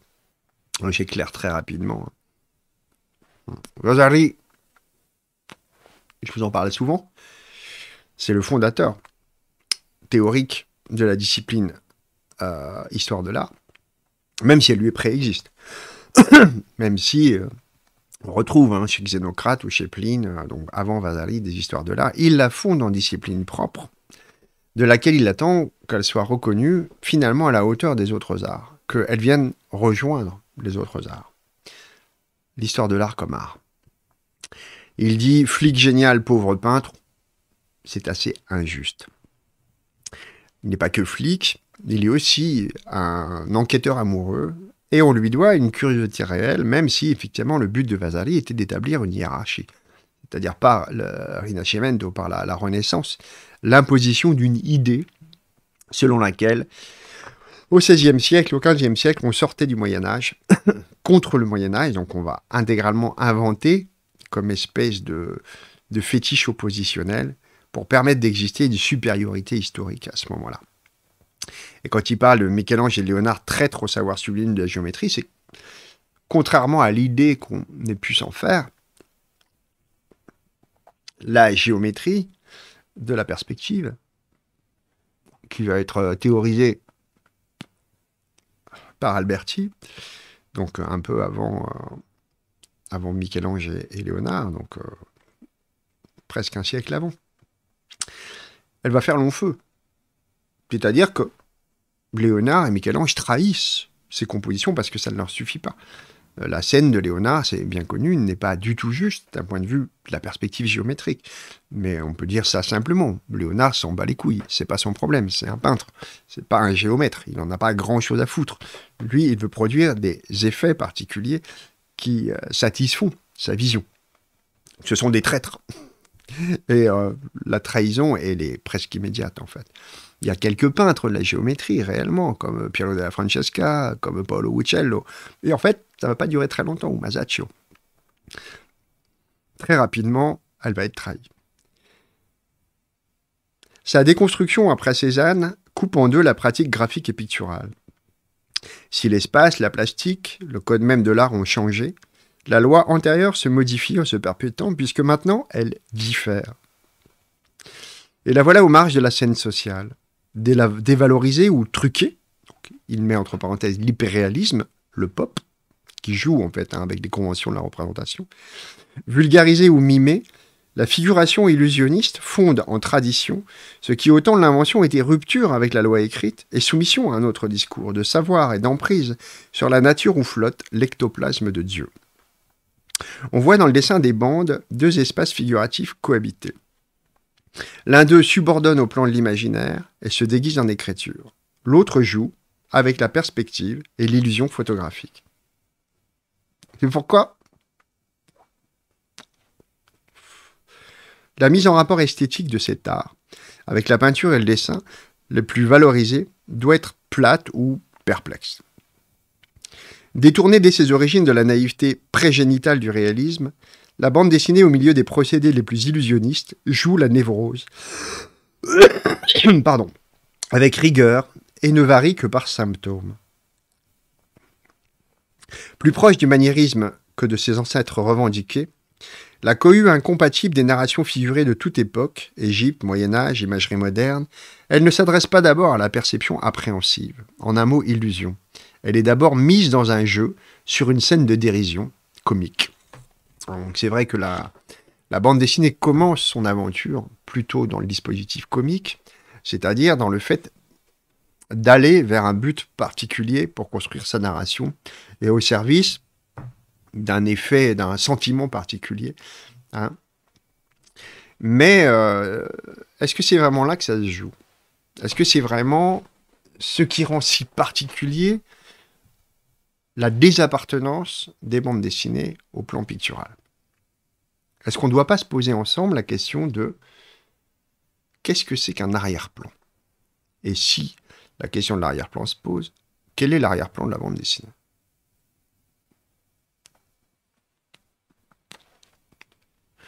Toutes les disciplines humaines travaillent la question de l'arrière-plan,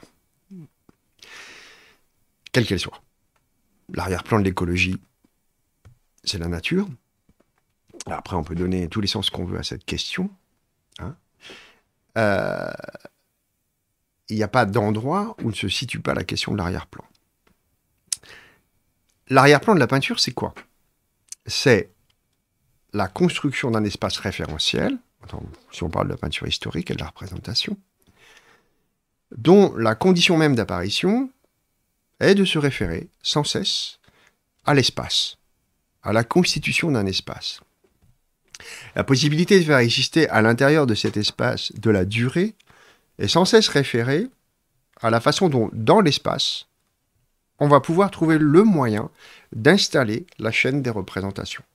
C'est pour ça que la peinture est tout entière, à la période de la Renaissance, au service de la plus juste possible représentation de l'espace.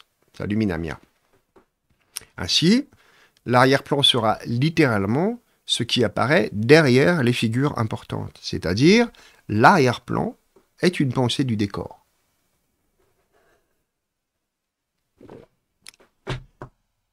On pourrait croire, en observant les bandes dessinées, si on ne s'y attarde pas assez, que son arrière-plan c'est la même chose. Mais en fait, pas du tout.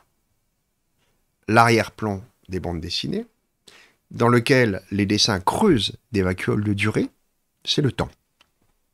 Raison pour laquelle, dans la plupart des bandes dessinées qu'on pourra voir, si on regarde ensemble des bandes dessinées du 19e siècle ou début du 20e, la question de l'arrière-plan en tant que figuration de l'espace, tout à fait anecdotique et sans grand intérêt. ou plus exactement, le décor a lui-même toujours un arrière-plan. Il n'est que très momentanément pris dans la construction de la représentation, arrière-plan de la figure, en vérité, il fait partie de l'avant-plan, dont l'arrière-plan est le temps. Qui veut dire qu'il y a une bande, une bande non représentée, une bande dont on pourrait dire que là où elle est représentée, c'est uniquement par la soustraction dans les vacuoles de durée de la bande dessinée font apparaître cette condition d'arrière-plan qu'est le temps, elle est la lettre volée, en quelque sorte, de la question de l'arrière-plan. À partir de là, on comprend bien que peinture et bande dessinée n'ont pas le même problème et pas le même arrière-plan pour se constituer en problème. C'est pour ça que c'est une erreur quand on construit une histoire des bandes dessinées, de la construire dans un vis-à-vis permanent avec l'histoire de la peinture et l'histoire des autres images. En fait, les bons prodigieux que la bande dessinée va pouvoir faire par rapport à cette question d'arrière-plan et de la pensée d'un certain mimétisme euh, visant à figurer quelque chose des opérations de durée, ben, va se référer à plein d'autres choses. Elle va se référer effectivement de temps en temps à des processus de théâtralité, des processus d'opération de la durée, chercher ici dans euh, des quêtes littéraires parfois, mais aussi énormément dans le cartoon. Et le cartoon ne va pas être pour rien dans la façon dont des choix plastiques vont être opérés, notamment par rapport à certains modèles et certaines modalités économiques du dessin qui n'ont pas lieu d'être dans le dessin en bande dessinée, mais qui vont faire jaillir toute l'intelligence d'une relation nouvelle à la question de la durée à l'intérieur des cartoons eux-mêmes. Le dessin en bande dessinée va en être transformé à jamais à partir, de à partir des premiers cartoons. On verra tous les effets qu'une certaine euh, économie particulière du dessin va retirer de cette relation d'arrière-plan en trouvant tendanciellement plus intéressant de faire jouer euh, la question de euh, ces rapports d'extraction à un présupposé d'arrière-plan dans une relation étroite avec la façon dont les figures sont apparues dans le monde du cartoon. On pourra en parler euh, prochainement si vous voulez. On pourra lire ensemble un autre texte que j'ai écrit à, ce sujet. Salut à toi, Otso, et qui est vraiment assez. comment vas-tu? Je te fais aussi un grand geste pour ton, vers ton lointain nord. Otsu est un grand observateur du nord, hein, du grand nord, avec des aurores boréales. Euh, tout ça pour vous dire que cette question doit être posée euh, de façon théorique pour mieux comprendre aussi qu'est-ce qui nous est utile pour comprendre là où se joue dans les bandes dessinées les rapports de figuration qui sont des rapports d'apparition sur un arrière-plan. La figuration, c'est plutôt ça que ça fait. Ça désolidarise un événement de son arrière-plan. Donc dans la peinture, l'événement, c'était la figure. La figure désolidarisée d'une certaine façon de son arrière-plan spatial, c'est-à-dire le lieu du monde dans lequel devaient se dérouler, en quelque sorte, les, euh, comment, les, jeux de consistance de, des figures qui se référaient souvent, bon, bah, à, des histoires empruntées euh, à, la, dire, à, la, à la représentation euh, religieuse, mythologique, etc. Là n'était pas le propos. Mais l'arrière-plan était toujours de l'espace. Bon, J'espère que c'est clair ce que je vous raconte. Hein.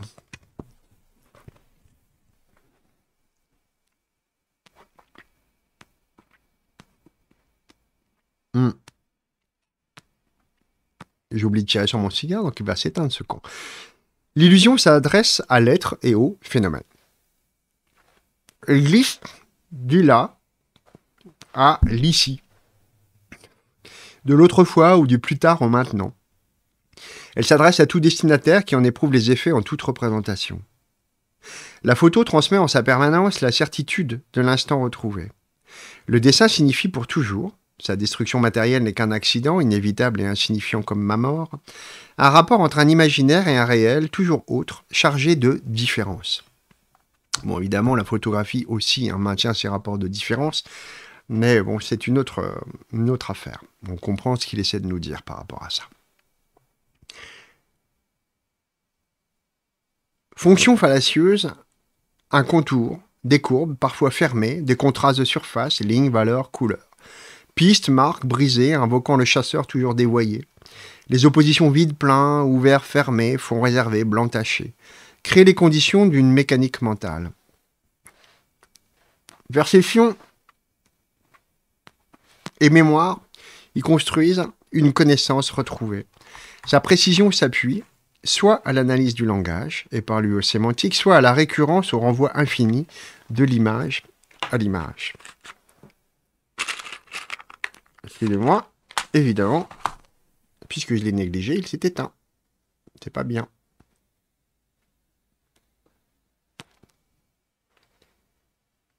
Ah, si vous avez des questions, n'hésitez pas.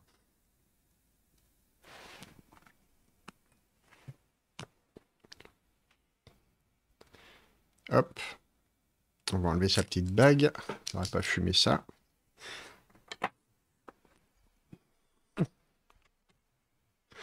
Exemple élémentaire.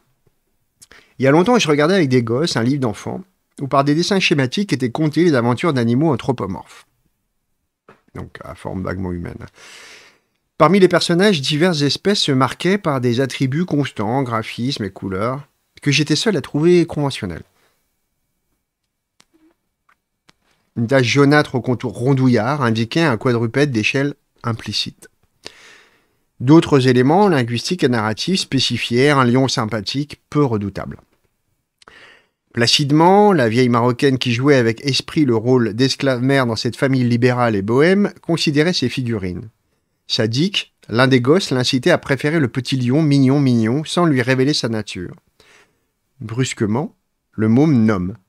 L'image est renforcée par une mimique plus symbolique, elle, qu'analogique. Et ça marche. La femme manifeste une frayeur démonstrative. Elle joue, elle semble avoir peur, elle a peur, elle se met en rogne.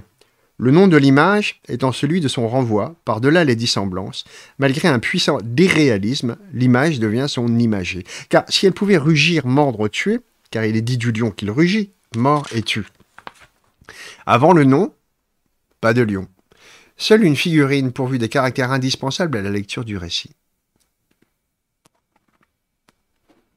Évidemment, c'est ce qui permet, par exemple, même jusque dans les rapports d'échelle, hein, de faire cohabiter euh, sans difficulté euh, Mickey Mouse avec Dingo, qui a priori est une sorte de chien, euh, en bousillant complètement les rapports d'échelle entre une souris qui devrait arriver au niveau du sol, à peine au pied de Dingo, et ce grand chien. C'est pas un problème si on ne nomme pas en fait ces figures de convention. Dès l'instant où les nomme, dès l'instant où on nomme euh, Dingo chien et on nomme Mickey souris, une espèce d'étrange retournement de la consistance rend plus que bizarre, incongru, aberrant, l'emprunt momentané qui avait été fait pour faire exister ces figures à un référent qu'en fait ils ont perdu depuis très longtemps.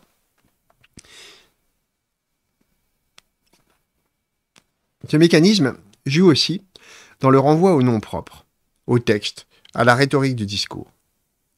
L'iconographie classique est, fort fou pour tuer l'image par le discours, le signe fort.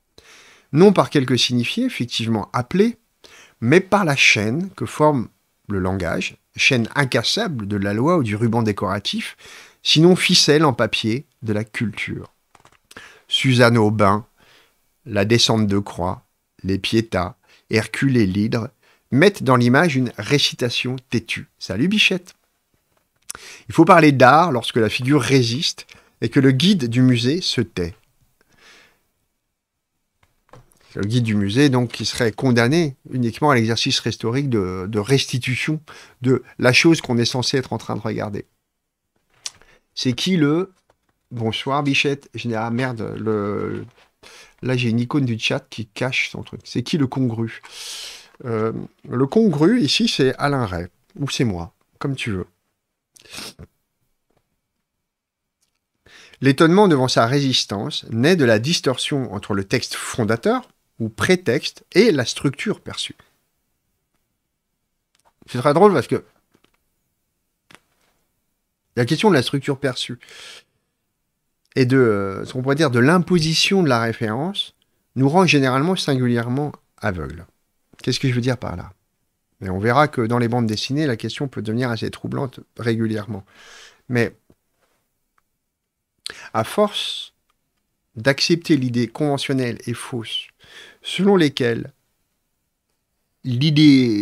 l'idéologie travaillant euh, la représentation, la figuration ancienne, ce serait le mimétisme le plus juste, c'est-à-dire la représentation la plus juste pour ce que ça veut dire d'une figure humaine, tout ceci nous fait oublier, à force de le répéter, à quel point c'est faux.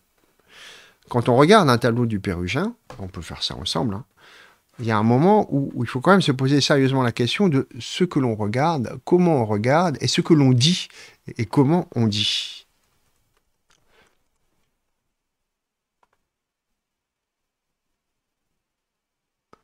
Voilà un exemple intéressant.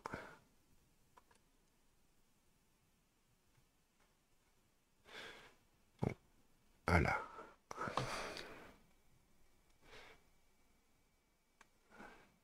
Observons ceci. Ça s'appelle le mariage de la Vierge. Quiconque, au moment où ce tableau est fait, c'est-à-dire au début du XVIe siècle, regarde le tableau du, du Pérugin, récite le prétexte, le mariage de la Vierge. C'est-à-dire qu'il prononce les bons mots. Il prononce la construction narrative qu'il connaît, puisque ça renvoie à quelque chose qui lui est familier. C'est euh, ce moment particulier euh, qui se renvoie à un texte qu'il pratique, le Nouveau Testament, et à quoi ça renvoie? On a construit ici un domaine de l'arrière-plan qui est particulièrement douteux, au sens douteux dans le cadre historique auquel il se réfère. Il est douteux parce qu'évidemment, l'architecture de fantaisie euh, symétrique qui apparaît en arrière-plan a cessé d'entretenir le moindre rapport, n'en a jamais entretenu avec l'antiquité supposée euh, de la scène mariale à ce moment-là. Évidemment pas.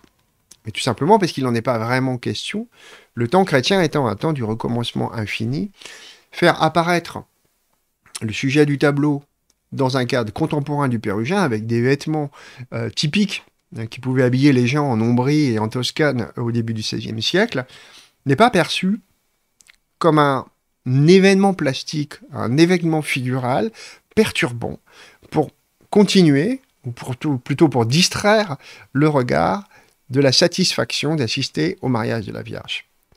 Alors qu'en vérité, rien que par ce petit détail, qui est un détail pour le coup purement historique, non, ça n'est pas possible, on devrait déjà être tenu à l'écart. Mais en dehors de ça, regardons ces figures, regardons ce qu'elles sont. Leur lien avec des vrais corps humains, avec des vraies positions dans l'espace, avec des, vrais rapports euh, de, tension entre les corps et euh, la façon dont la lumière peut les frapper, est complètement aberrante. Ces figures, en vérité, sont complètement fantastiques. Mais nous ne les regardons pas comme telles tant que nous continuons à nommer les choses. C'est-à-dire que ceux-là même qui aujourd'hui ne connaissent plus le, prétexte, c'est-à-dire ne connaissent plus tellement le Nouveau Testament, euh, peuvent regarder ces tableaux dans les musées en ne sachant pas vraiment très bien de quoi ils parlent, continuent à nommer les figures comme figures, à s'émerveiller de la qualité de la peinture, et continuent à en parler en termes de ressemblance. Alors que ces figures ne ressemblent en rien à des figures humaines. Les visages de convention peints par le Pérugin ne ressemblent en rien à la façon dont s'ordonnent les visages que nous croisons autour de nous, pas plus que quelqu'un au XVIe siècle n'aurait reconnu là son quotidien. Mais le texte est envahissant. Et tant qu'on raisonne, et tant qu'on laisse résonner en nous euh, ce texte, alors nous perdons quelque chose du regard, effectivement. Et quand nous commençons à regarder vraiment les choses pour ce qu'elles sont, alors là, le fantastique fait irruption. La dimension absolument ahurissante, euh, irréaliste, euh, fantastique de la peinture du Pérugin nous saute aux yeux.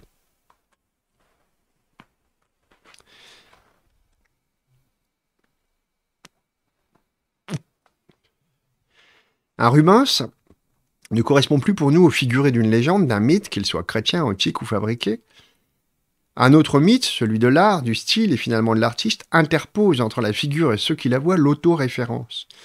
Souvent, les textes sous-jacents, signifiés signifiants, sont virtuels, inconnus, illisibles ou bien complexes. Un peu ce que je viens de vous décrire avec le pérugien. Si l'iconographie n'est pas une mise en ordre linéaire, elle est herméneutique. Donc l'herméneutique, c'est euh, la science de la lecture sacrée. Mais on a fini par euh, étendre le sens de l'herméneutique à euh, toute la science de la lecture, si vous voulez. Elle propose, invente, retrouve, superpose, mêle et tait des phrases, des textes, des noms. Elle fait dire, elle assaille le silence, jusqu'au titre du tableau, syntagme sec, qui ne cesse de se dérouler en interprétation. Vient se substituer en quelque sorte au cadre des vocations qui ont fait naître l'image à renvoyer à un texte originel, une autre euh, vocation de la référence, qui est celle de l'art lui-même comme famille d'objets dans laquelle nous rangeons euh, bah, des noms, des tableaux, des figures, des représentations, etc. Et ça aussi, ça fait écran. Ça fait en grande partie écran au regard lui-même, au fait de regarder, à la façon dont nous regardons les choses. Cet interprétant langagier, qui soit présent matériellement, titre ou texte illustré, ou que la culture l'impose, parasite l'image. Mais l'image le nargue et signifie avec lui, contre et en lui autre chose, autrement. Outre le renvoi au discours, fonctionne inépuisablement la référence aux images et la circulation interne des images. Dans l'univers figuratif, l'investissement spatial se plie au jeu de la représentation. Le dessin tel qu'il se pratique dans la genèse du genre se soumet à des lois propres. Le trait est pertinent. La couleur remplit des contours. Elle renforce, déplace, ajoute, contrarie, mais les configurations graphiques assument espace et figure. Le contour lui-même, évidemment, hein, n'est qu'une convention. L'idée qu'une forme est un contour est une idée purement métaphysique. Ce n'est pas, pas une réalité visuelle. Un corps est pris dans le temps. À partir de là, il n'aurait des contours que s'il était une figure plate, découpée dans la trame plate d'un réel plat. Il n'en a pas. Il n'y a pas de moment où ce soit vrai. La forme même des corps pris dans le monde est altérée par la vibration lumineuse qui les entoure, et il faut faire des choix. Des choix qui sont des décisions purement arbitraires pour imposer une certaine idée. Cette certaine idée, c'est une idée complètement langagère. C'est une idée platonicienne. C'est une idée clairement, de la forme platonicienne qui capture un sens, qui enferme un sens. Mais ça n'a pas grand-chose à voir avec l'expérience visible. Évidemment, c'est tout à fait autre chose. Donc la question du contour, évidemment, elle est centrale dans l'histoire de l'art, puisqu'elle va se poser comme paradigme de la représentation dès l'Antiquité. Et elle va être énormément questionnée. Là, je vous ai montré le Pérugin, mais très typiquement, euh, la Renaissance toscane va travailler cette question du contour, et notamment parce que c'est un art, enfin c'est une région du monde, euh, euh, l'Italie, et un moment de l'histoire italienne où elle se pose dans une dialectique avec les énoncés, avec le discours. C'est-à-dire que la représentation, avant d'être un rapport du réel au visible et du visible au réel, est tout d'abord un rapport descriptif, c'est-à-dire un rapport de langage à partir de là, on tient pour vrai la question du contour comme une bonne réponse à la question de la figure. Vous voyez le truc. Mais pas loin de là, un peu plus au nord, si vous montez en Vénétie, au même moment, c'est pas du tout la même farine. On ne parle pas de la couleur et du dessin dans les mêmes termes. On ne rabat pas la question du dessin sur la question du contour. Pas du tout.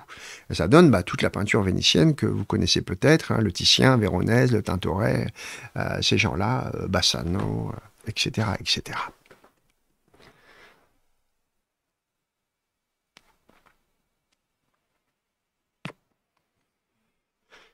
Oh non, ils font des blagues sur Robert Hue, Bichette. Oh, comme c'est vilain. le congre Hue. Outre euh, papa papa, dans l'univers figuratif, l'investissement spatial se plie au jeu de la présentation. Le dessin tel qu'il se pratique dans la jeunesse du genre se soumet à des lois propres, donc le trait est pertinent, la couleur remplit des contours, etc. Elle renforce, déplace, ajoute, contrarie. Les valeurs plastiques de la peinture et du dessin noble sont interdites, honteusement, honteuses ou détournées dans l'imagerie, dans la caricature et le dessin divertissant, produit répétitif de la technique. Donc, bon, évidemment, là aussi, c'est, il faut un peu de plasticité, hein, parce que si on regarde la peinture, euh, par exemple, flamande du XVIIe, ou même du XVIe, la dimension comique appuyée existe dans la peinture savante et la peinture noble. Le, comique n'est pas que euh, imprimé dans la question de la caricature et, du petit dessin. Du, du, ou... Euh, non, il est... En fait, il a une histoire plus vaste et plus longue que ça. Il n'a pas toujours été détaché de cette question. Puis, on est obligé, pour accepter ces catégories, de, de sauter par-dessus la longue histoire de la figuration médiévale, qui ne se satisfait pas du tout de ce dont on est en train de parler. C'est un tour de passe-passe euh, qui fait que d'une manière ou d'une autre, on a un peu trop vite avalé la pilule vasarienne. Il a traité Vasari de flic génial, mais la façon dont il saute par-dessus le Moyen Âge, laisse penser qu'au fond, bah, il, est plus vasarien qu'il ne l'imagine.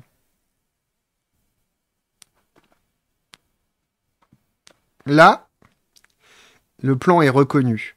Écran de verre léonardien dans la construction perspective, de Windsor Mackay à Hogarth jusqu'à Druyet.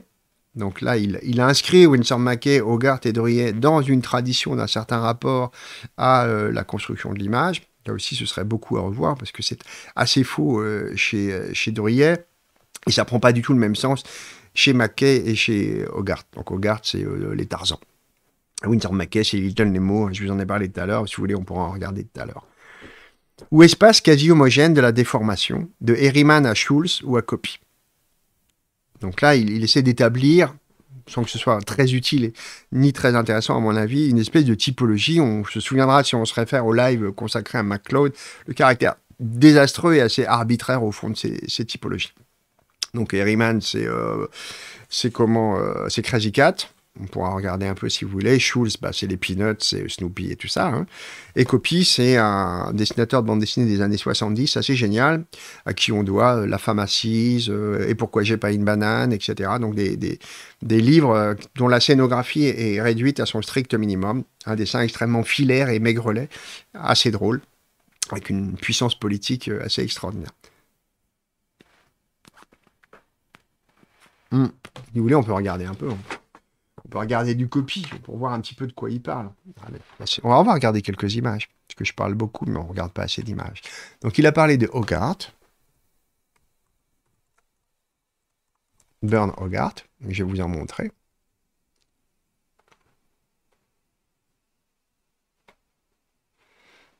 Alors, hop, comme ça, vous allez voir ça. On va plutôt chercher des grandes images, comme ça on va, on va se plonger dans, dans du Hogarth. Alors là, il n'y a que des dessins, il n'y a pas de planche. Voilà une planche.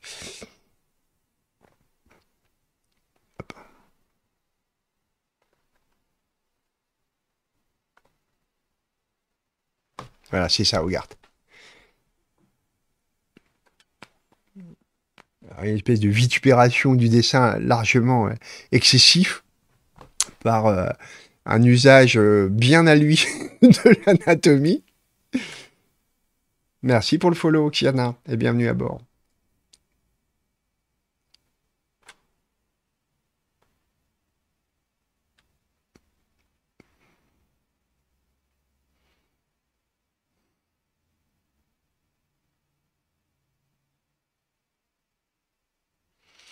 Donc le, travail de Hogarth vise énormément, on pouvait le voir, à un jeu d'une tension dynamique constante, à la fois dans la relation euh, au, regard, c'est-à-dire qui est sans cesse mouvant autour des figures, vue plongeante, euh, contre-plongée. Euh, ensuite, on passe par des choses soit frontales, soit latérales, comme ici, toujours avec pour vocation d'appuyer au maximum le caractère dynamique de, de ces constructions. On va regarder copie. C'est ça.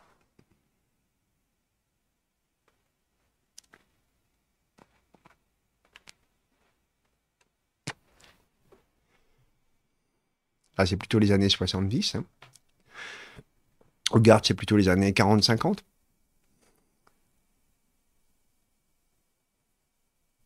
Bon, Druyet, je vais pas vous montrer ça parce que j'ai horreur de cette merde. Bon, Schulz, euh, Peanut, c'est pas la peine que je vous montre, je pense que vous connaissez. Winsor McKay, on peut regarder un petit peu si vous voulez. je vais chercher ça. Hop. Alors. Alors c'est un peu grand. Donc.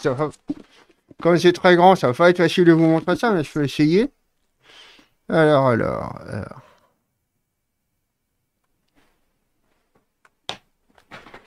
On va essayer.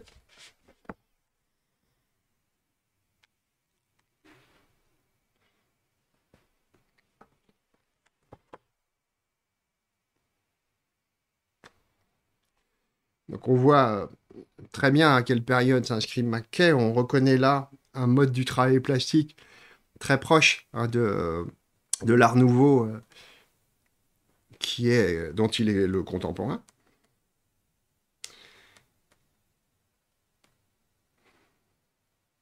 On va pas faire un live complet sur Mackay, donc on va pas rentrer dans les détails. Vous noterez quand même un travail extrêmement savant sur la matière éditoriale, c'est-à-dire ici, par exemple, en bas, la tradition euh, comment, technique des bandes dessinées faisait qu'on travaillait à part le, dessin en noir et blanc, le dessin au trait, et qu'on le plaçait par-dessus des couches euh, chromatiques qui étaient travaillées euh, soit en couleur directe, soit ici avec des jeux de trames assez savantes. Et ici, il fait cette chose extraordinaire pour illuminer la case inférieure. Il décide de faire sauter le passage au trait, sauf sur la figure de Little Nemo, ce qui fait qu'on perd le fameux trait de contour, qui est au fond une convention, euh, pour euh, faire rejaillir ce qu'on appelle le bleu. Alors ce qu'on appelle le bleu, en fait, je vous explique comment ça fonctionne, c'est assez simple. Pendant qu'on regarde d'autres images, le dessinateur se faisait refiler par euh, l'imprimeur, une fois qu'il avait réalisé sa planche en noir et blanc, un tirage euh, avec une couleur très faible, un bleu très pâle, et c'est ça qu'il passait en couleur. Et ensuite, par-dessus, un film de plastique transparent, un film euh, euh, sur lequel était placé le dessin au trait, venait recouvrir tout ça et raffermir les zones de contour autour des zones chromatiques. Donc le, la planche sur laquelle on pose des couleurs s'appelle un bleu, et c'est la raison pour laquelle vous avez vu apparaître tout à l'heure un trait bleu tout autour. Le trait bleu, à la fin, bah, il est recouvert hein, par le trait noir qui est juste son double, hein, qui est le dessin original du dessinateur. Donc là, ce sont les planches. Euh, donc on est en 1907.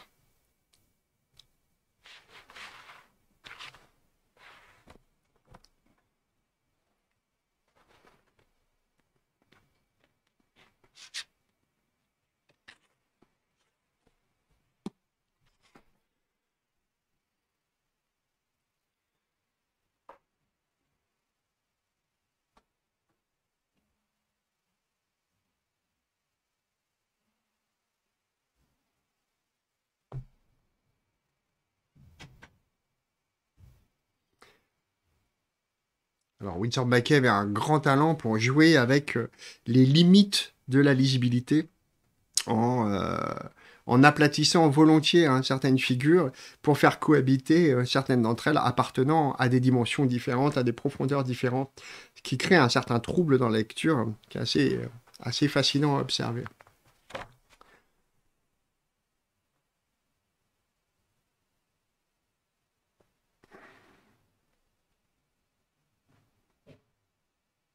J'espère que la mise au point se fait pas mal.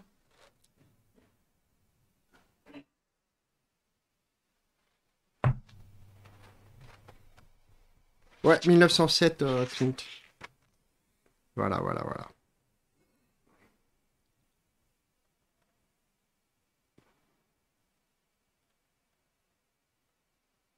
Bon, je pense que vous avez sans doute entendu parler hein, de Little Nemo. Donc ça, c'est une des publications qui a été faite de Nemo euh, dans, les années, euh, dans les années 80.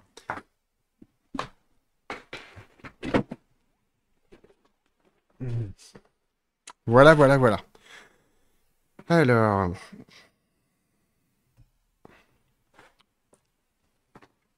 Donc c'est bien quand même de temps en temps de regarder des images hein, pour savoir de quoi on parle. Un jeu discret entre ces deux extrêmes, troué de la page ou écrasement au milieu plat de l'écriture, fondent en effet la plupart des illustrations, des dessins d'humour des bandes dessinées. On en revient à ce que je vous disais par rapport à la notion d'arrière-plan et euh, du caractère au fond euh, complètement auxiliaire de euh, celui-ci en tant que représentation traditionnelle héritière des constructions picturales, qui au fond n'est pas l'arrière-plan de la bande dessinée. Or, une habitude confusionniste tient, en France au moins, les spécialistes de ce dernier genre.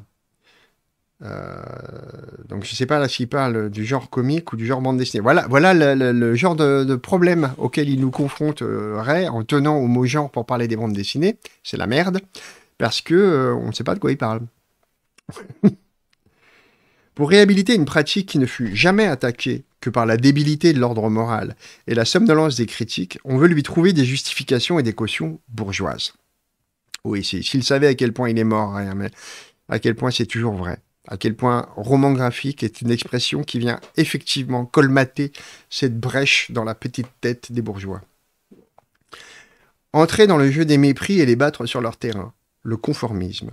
L'histoire de la BD se croit donc tenue d'annexer le livre des morts égyptiens, les bas-reliefs mayas, les enluminures médiévales, les vitraux de Chartres, la broderie de Bayeux, les xylographures du 15e, Hogarth, celui des dictionnaires, Rodlanson, Doré, Gavarni, l'imagerie d'Épinal et toute la production graphique, illustrative et narrative du 19e. Donc tous les gens qui vous cassent encore les couilles avec la tapisserie de Bayeux pour euh, parler de bande dessinée, là ils en prennent plein leur grade en 1978 et il n'a pas tort, le bougre. N'empêche que on persiste on n'a pas tellement bougé par rapport à ça. Hein.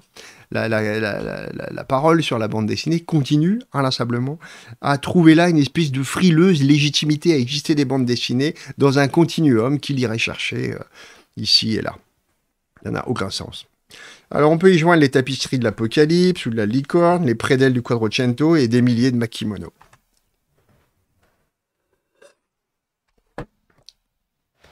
Tentation d'autoriser par comparaison hétéroclite chaque fois que l'histoire de l'art offre cette rencontre banale de l'image avec l'intention narrative.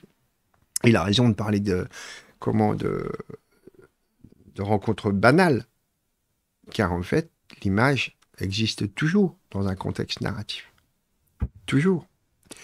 C'est absurde d'aller en traquer qui soit plus visible. C'est-à-dire que ce que l'on recherche quand on fait ça, c'est des signes adéquats d'analogie fonctionnelle. C'est complètement con. Parce que c'est pas parce que ça fonctionne d'un point de vue analogique que ça a un sens sur le plan euh, théorique profond et conceptuel. C'est idiot, en fait.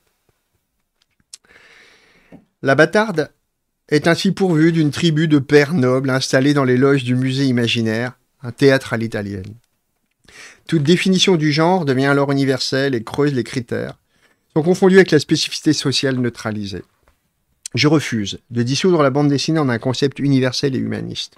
Comme toute forme artistique, elle est guettée par le mythe des valeurs religieuses éternelles et par le ministère du sublime. Le ministère du sublime, évidemment, c'est Kant. Hein. Le phénomène social et le code sont d'une culture d'un temps précis. Analysable sur divers plans, il suppose la reconnaissance de conditions préalables, figuration d'un récit ou imagerie narrative, et d'une réalisation inventée par des situations économiques. Un modèle de communication massif était nécessaire. L'opposition entre une formule qui s'impose en 10 ans aux États-Unis et un code provisoire plus archaïque, qui met plusieurs décennies à céder en Europe, s'explique par des facteurs socioculturels et ouvertement commerciaux. Dire de la bande dessinée qu'elle est d'emblée américaine n'est pas proposer un choix esthétique, mais reconnaître un processus. Avant d'en risquer l'esquisse, il faut dire la vocation délirante de l'image socialisée et la révélation d'un trucage. Fin du premier chapitre. Donc il va nous proposer une lecture euh, passant par les États-Unis. On peut supposer qu'on va traverser un petit peu le, montage euh, euh, Topfer Outcall. Donc Outcall, je vous en ai déjà parlé parce que il y a plusieurs reprises, il est question de Buster Brown dans, certains des lives. Il est surtout connu par la bande dessinée quasiment Princeps des compositions contemporaines avec phylactère et c'est euh, The Yellow Kid. Donc on pourra regarder des planches si vous voulez. Mais là, nous arrivons à la fin de ce chapitre. Alors, j'ai une question à vous poser, toute bête. Est-ce que vous préférez qu'on poursuive la lecture de ça, ou on se refera ça euh, petit à petit, on peut le faire par petites touches de temps en temps, où on change d'auteur et on va puiser euh, dans d'autres articles? Bon, bah, dans ce cas-là, on va changer. Je vais vous lire un article euh, consacré à la question de la forme, très court, hein, dans Dessiner, à propos de Daniel Close. Donc du coup, on va aller directement sur l'image.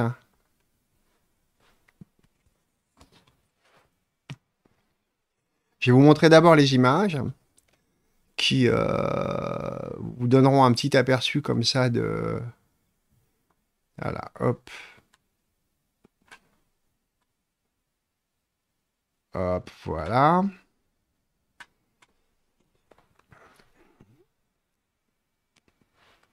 Salut ça. Donc ça c'est Daniel Close. C'est un auteur américain qui a euh, commencé euh, dans euh, les années 80, je crois, qui est surtout connu pour ses productions dans les années 90. Ça, c'est une des planches qui va être le point de départ de ce dont je vais vous parler, qui est une planche assez désastreuse. C'est une... je crois que c'est dans Patience, si je me souviens bien je vais comparer ça à une autre planche et, voir quel type de problèmes peuvent se poser quand on veut se tenir à une unité plastique.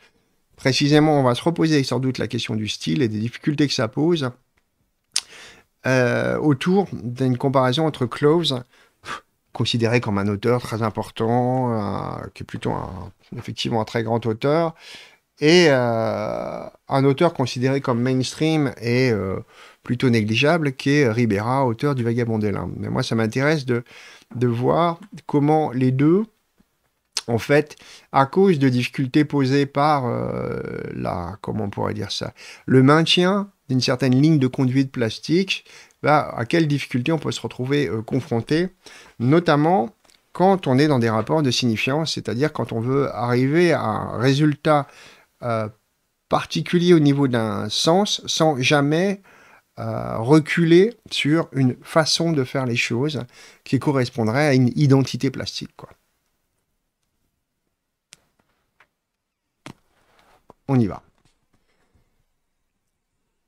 Dans Patience, récit de science-fiction publié en France chez Cornelius, Daniel Close met en scène des sauts dans le temps pour signifier ces violences faites au cours linéaire des événements. Il a cru nécessaire de rendre visible par le dessin les sauts matériels des corps pris dans le flux de ces passages que nous voyons ici. évidemment, on a une difficulté, euh, on va dire, liée à la caractéristique d'arrière-plan dont je vous parlais tout à l'heure. Si l'arrière-plan fondamental est, comment on pourrait dire, infiguré, enfin qui doit le rester infiguré pour permettre dans les bandes dessinées l'explosion des vacuoles de durée, ont maintenu comme cette espèce d'arrière-plan euh, continu de laquelle s'extrait la manipulation effective des opérations de durée pour produire un récit n'appartenant que au cadre de formalisation de ce que l'on est en train de dire, ce que l'on est en train d'énoncer, ce qu'on est en train de raconter. Alors que faire quand à un certain moment, il vous semble nécessaire de passer brusquement au figural, c'est-à-dire ramener l'arrière-flanc en avant-flanc. En d'autres termes, il s'est efforcé de représenter non seulement les puissances modificatrices de l'ordre du monde, mais aussi les effets perceptibles de ces torsions légales sur les corps qu'elle emporte et affecte. Donc, euh, en l'occurrence, c'est cette planche, ça. C'est celle-là. Particulièrement hideuse. Alors, torsion légale, je veux dire par là, une torsion dans la loi naturelle, dans, dans la légalité naturelle. D'accord? Miaou.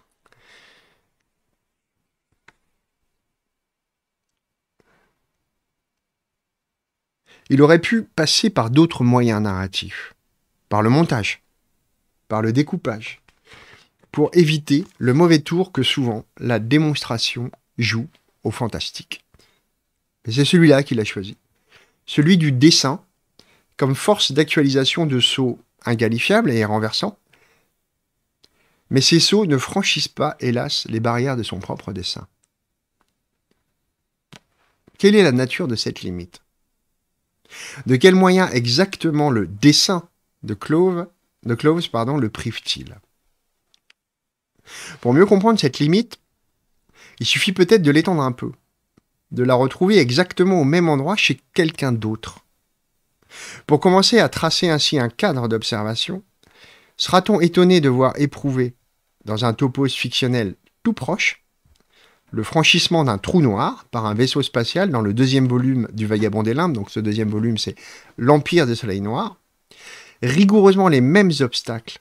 Je vous montre la planche en question, ça c'est celle de Ribera de voir buter contre les mêmes artifices plastiques, les mêmes procédés métaphoriques, échouant identiquement à figurer l'infranchissable, c'est-à-dire l'excès de toute matière.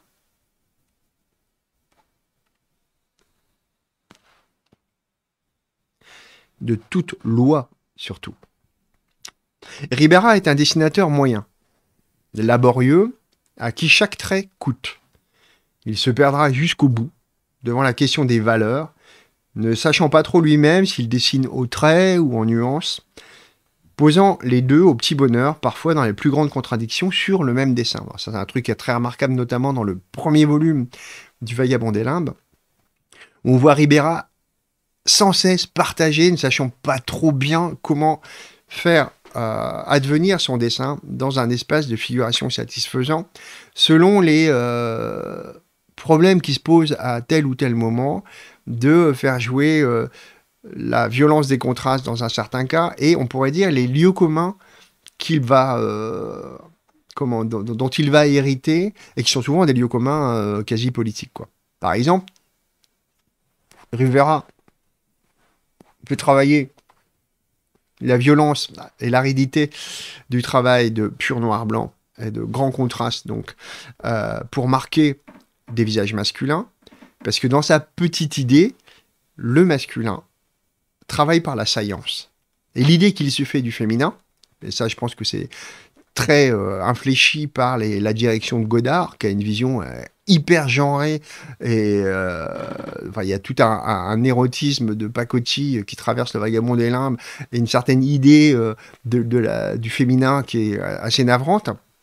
Et du coup, le féminin, évidemment, c'est la douceur. Pas question euh, de, euh, de mettre sur un visage féminin ces grandes arêtes découpées, parce que on comprend que d'une manière ou d'une autre, il y a une espèce d'insatisfaction euh, à vouloir, à cet endroit-là, garder le fantasme d'une idéalité féminine tout en licéité, tout, en, tout en douceur, et le voilà qui nous travaille des espèces de modelés à la plume hideux, en général, qui ne sait pas contrôler. Et tout ça sur une même planche. dans, la, dans le premier album, ça n'arrête pas. Quand il est. À un certain moment, il veut donner. Euh, une espèce de sensation impressionniste de la lumière.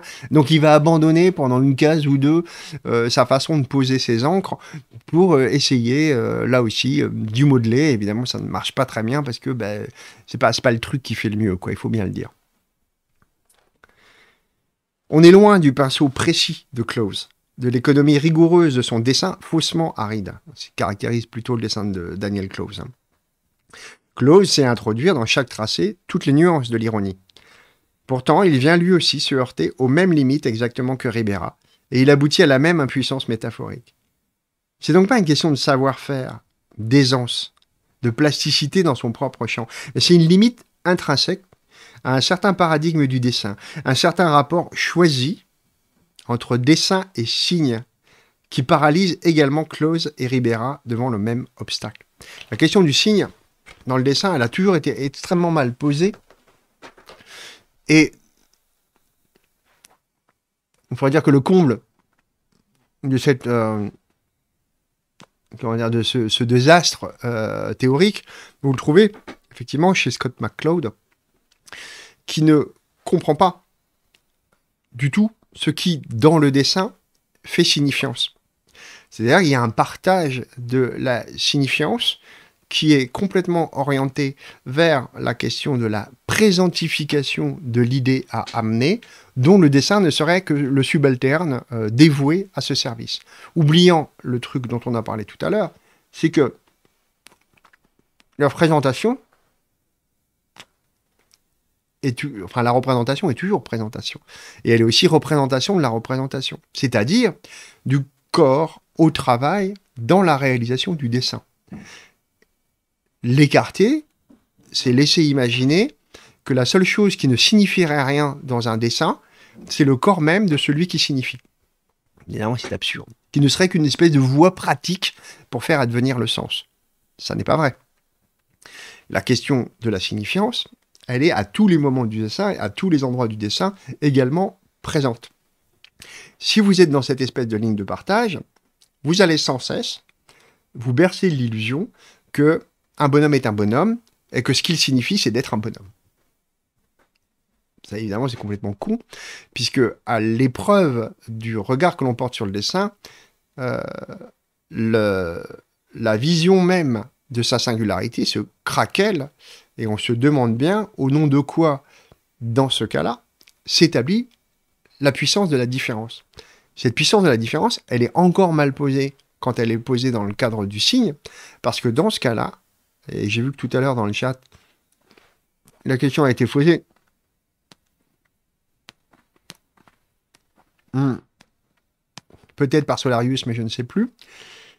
Du style. Eh bien, c'est bien ça le problème. L'héritage de la. Comment L'héritage notionnel du style, le style comme notion, c'est d'appartenir à la question du cadre des conventions qu'on a évoqué au tout début, c'est-à-dire du maintien de la question conventionnelle le style s'inscrit dans une tradition du répertoire euh, architectural, finalement, euh, d'une périodisation, d'une localisation qui est extérieure aux conditions de production de l'image elle-même, comme une espèce de régime social euh, dans lequel, au fond, le dessin viendrait répondre à une codification largement partagée et largement admise comme dirigeant finalement les cadres même de l'imposition. Ce qui fait que le style est en soi, on dirait un, un terme extrêmement ambigu et contradictoire, dans lequel on emploie à satiété cette catégorie pour parler des modes d'affirmation de certains critères de réalisation, et pourtant, on en parle aussi, parfaitement contradictoirement, euh, comme de l'affirmation de la singularité au travail, le style de machin, le style de truc. Ces deux notions ne peuvent pas cohabiter sans qu'à un certain moment, une grande zone de friction apparaisse, parce que ce qui caractérise la notion de style, évidemment, c'est celle de la reconnaissabilité de son appartenance à une certaine famille de signes. C'est-à-dire, au fond, une notion plutôt rhétorique. Une notion, au minimum, inféodée au régime du discours. Et c'est sur toute cette question que va vaciller, en fait, le, moment pour ces deux-là de faire passer la transgression de quelque chose, qui est une transgression de l'ordre narratif, complètement conditionnée par le régime de convention auquel ils se sentent appartenir d'une façon presque nécessaire, en fait. Alors, Solarius, c'est pas aussi une codification dans le dessin. Ça dépend de quoi on parle, Solarius. C'est bien là le problème. Euh, on peut entendre euh, aujourd'hui, de façon extrêmement grossière, parler alors que ça n'a pas de sens de dire ça, d'un style comique. Euh, ça n'a pas de sens. vous pouvez tout à fait raconter un récit humoristique euh, avec le, un dessin euh, qui est, je sais pas moi, celui, celui du plus académicien des académiciens. Ça n'a aucune espèce d'importance. Il y a un régime comique constant, par exemple, dans les aventures de Giuseppe Bergman, dessinées par Ribera, qui sont des grands récits comiques question du dessin, elle est laissée de côté. C'est des usages de pure convention qui laissent imaginer qu'ils sont fondés en sens. Mais en vérité, ils ne le sont pas. Et on peut parler de style aujourd'hui en des termes encore plus hallucinants, en parlant d'un style manga, ce qui n'a aucun sens. Euh, manga, c'est pas un style, c'est une façon de nommer les bandes dessinées au Japon, enfin les, bandes dessinées et dessins animés. Donc, ça n'a pas de sens de parler de style à cet endroit-là. Et pourtant, le terme est employé. Ça veut dire qu'il peut être employé avec une, telle flottaison finalement du sens, c'est que c'est un terme extrêmement problématique qui ne nous aide pas du tout à comprendre ce que ça veut dire et la convention et la singularité. C'est plutôt un empêchement de comprendre à quoi exactement on a affaire. Est-ce qu'on peut parler du style McQueen? On peut parler de la manière de quelqu'un. On peut parler de sa main.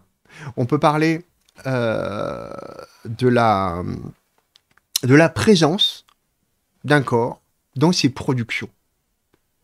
Parler de son style, c'est déjà commencer à faire un inventaire, un inventaire fébrile d'une signalétique complètement illusoire qui nous ferait dire voilà à quoi on s'attache.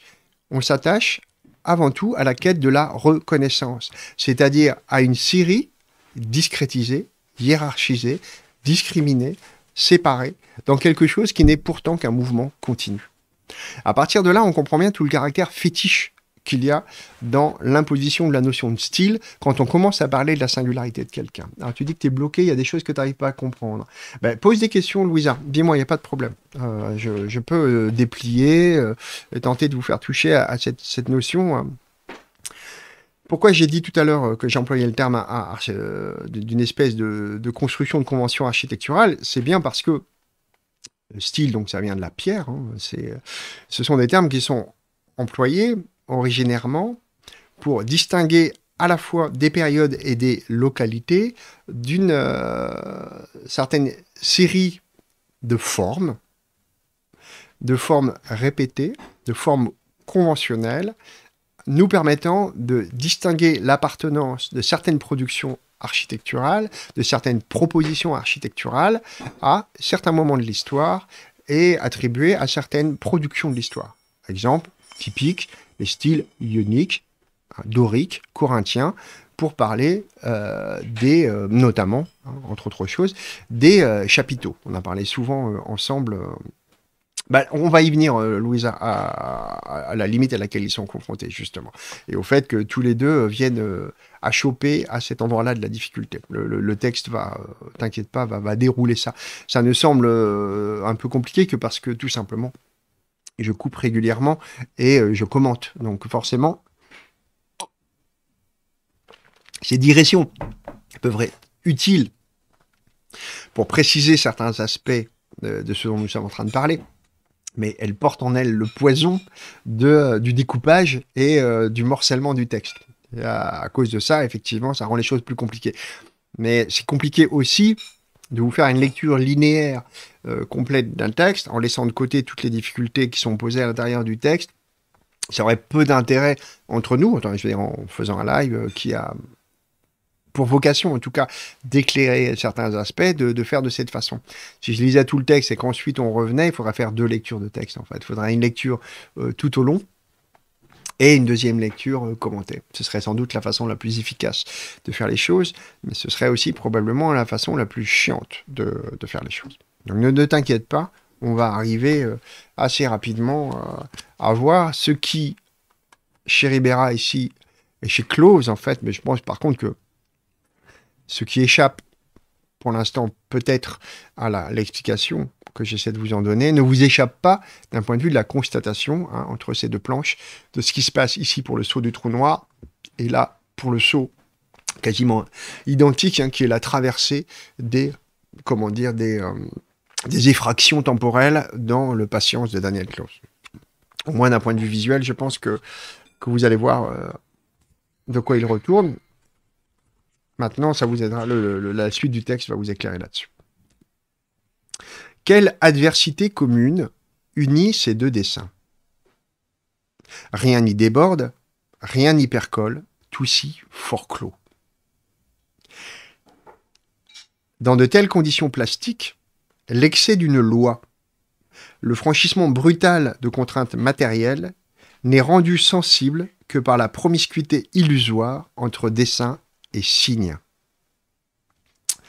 Dessin condamné à la limite telle qu'elle est exprimée par le contour. Eh oui.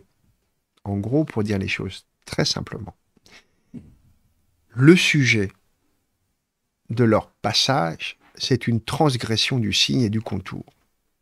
Et comme ils se maintiennent tous les deux arrimés au régime de plasticité dans lequel ils sont inscrits, alors ils viennent tous les deux buter contre ce même euh, impossible. Ils se tiennent tous les deux à ça, ce qui veut dire que tous les deux, vous pouvez le voir ici, se condamnent l'un l'autre à une discrétisation, c'est-à-dire qu'ils procèdent à des accumulations de signes.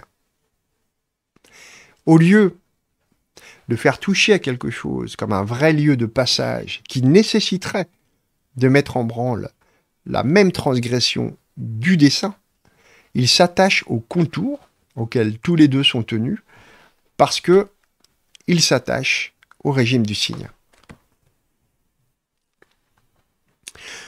Pour visible qu'il se donne, celui-ci est en fait ontologique.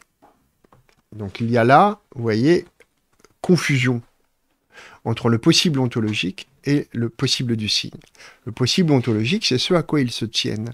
Ils se rattachent à des unités ontologiques, ce que les choses sont, et ils les y piègent dans la, comment on pourrait dire, dans la forclusion du contour.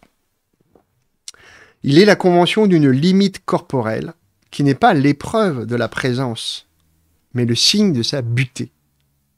En fondant la limite physique d'un corps et de son signe, on ne dispose plus, dans un domaine tout entier abandonné à un fonctionnalisme du signe, d'opérations possibles de l'excès. Et sans cesse, la butée revient au signe. Les sacs de chair sont piégés dans les membranes dessinées de Klaus. Le corps en gouttelettes porte à son comble l'inaptitude à atteindre la chair tombante cette force gravitationnelle propre à la peinture, matière même de l'excès, telle que l'a décrit Deleuze pour son bacon. Hein, quand Deleuze parle de bacon, il parle de la chair qui tombe de la croix, des sacs de chair. Et là, on voit bien l'impuissance à chaque fois d'un rapport à la question qui devrait être celle de la décomposition et que rien ne vient jamais décomposer. Au contraire, on a affaire à une composition continue et à des choses de cet ordre-là, qui fleurent bon l'impuissance totale. Ici, matière de la différence. Et on est dans l'ordre du zigouigoui le zigouigoui géométral euh, à gauche euh, va aborder euh, l'ombilical, le chapelet de bulles ici, le chapelet de gouttes là, le vague éclat lumineux, c'est-à-dire un assemblage hétérogène et absurde de choses qui font signe de leur différence, mais qui sont unifiées dans une absence totale de différence. C'est ça que vous êtes en train de regarder. Oui, tu vois, Louis Arnaud, ça s'éclaire beaucoup. Oh, merci, c'est gentil. Il ne reste plus à Cloves qu'à traquer les formes historiques de la démesure, forme littéraire, forme picturale, connotation, vue de l'esprit soumise aux torsions allégoriques. Et l'allégorie, on est d'accord, j'imagine, hein, ensemble, pour convenir que c'est précisément l'impuissance au continu c'est une incapacité totale à produire des espaces de porosité. L'allégorie, c'est typiquement une armoire à signes. Une armoire à signes dans laquelle on va cueillir des vieux bibelots et dont on assemble ensemble quelque chose qu'on pense plus ou moins comme de la rhétorique, comme une espèce de similiphrase. Ces deux planches, aussi éloignées dans le temps que par les mondes éditoriaux et artistiques, dans le temps, oui, hein, la, la, BD de, de Ribera, le premier volume, hein. enfin le volume 2, c'est euh, donc euh, Les démons des temps immobiles. Alors j'ai pas la date, mais on peut regarder ça. Euh, hop. 78 Ouais, quelque chose comme ça. Ribera, démons des temps immobiles. Hop. Est-ce qu'on a la date là?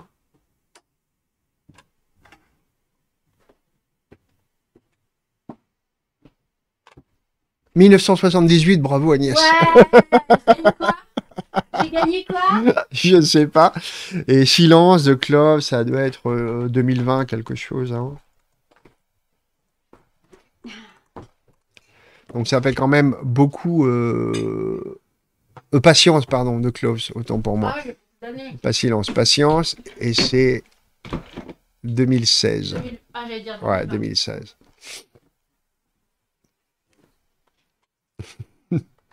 Oui, tu as les félicitations du jury.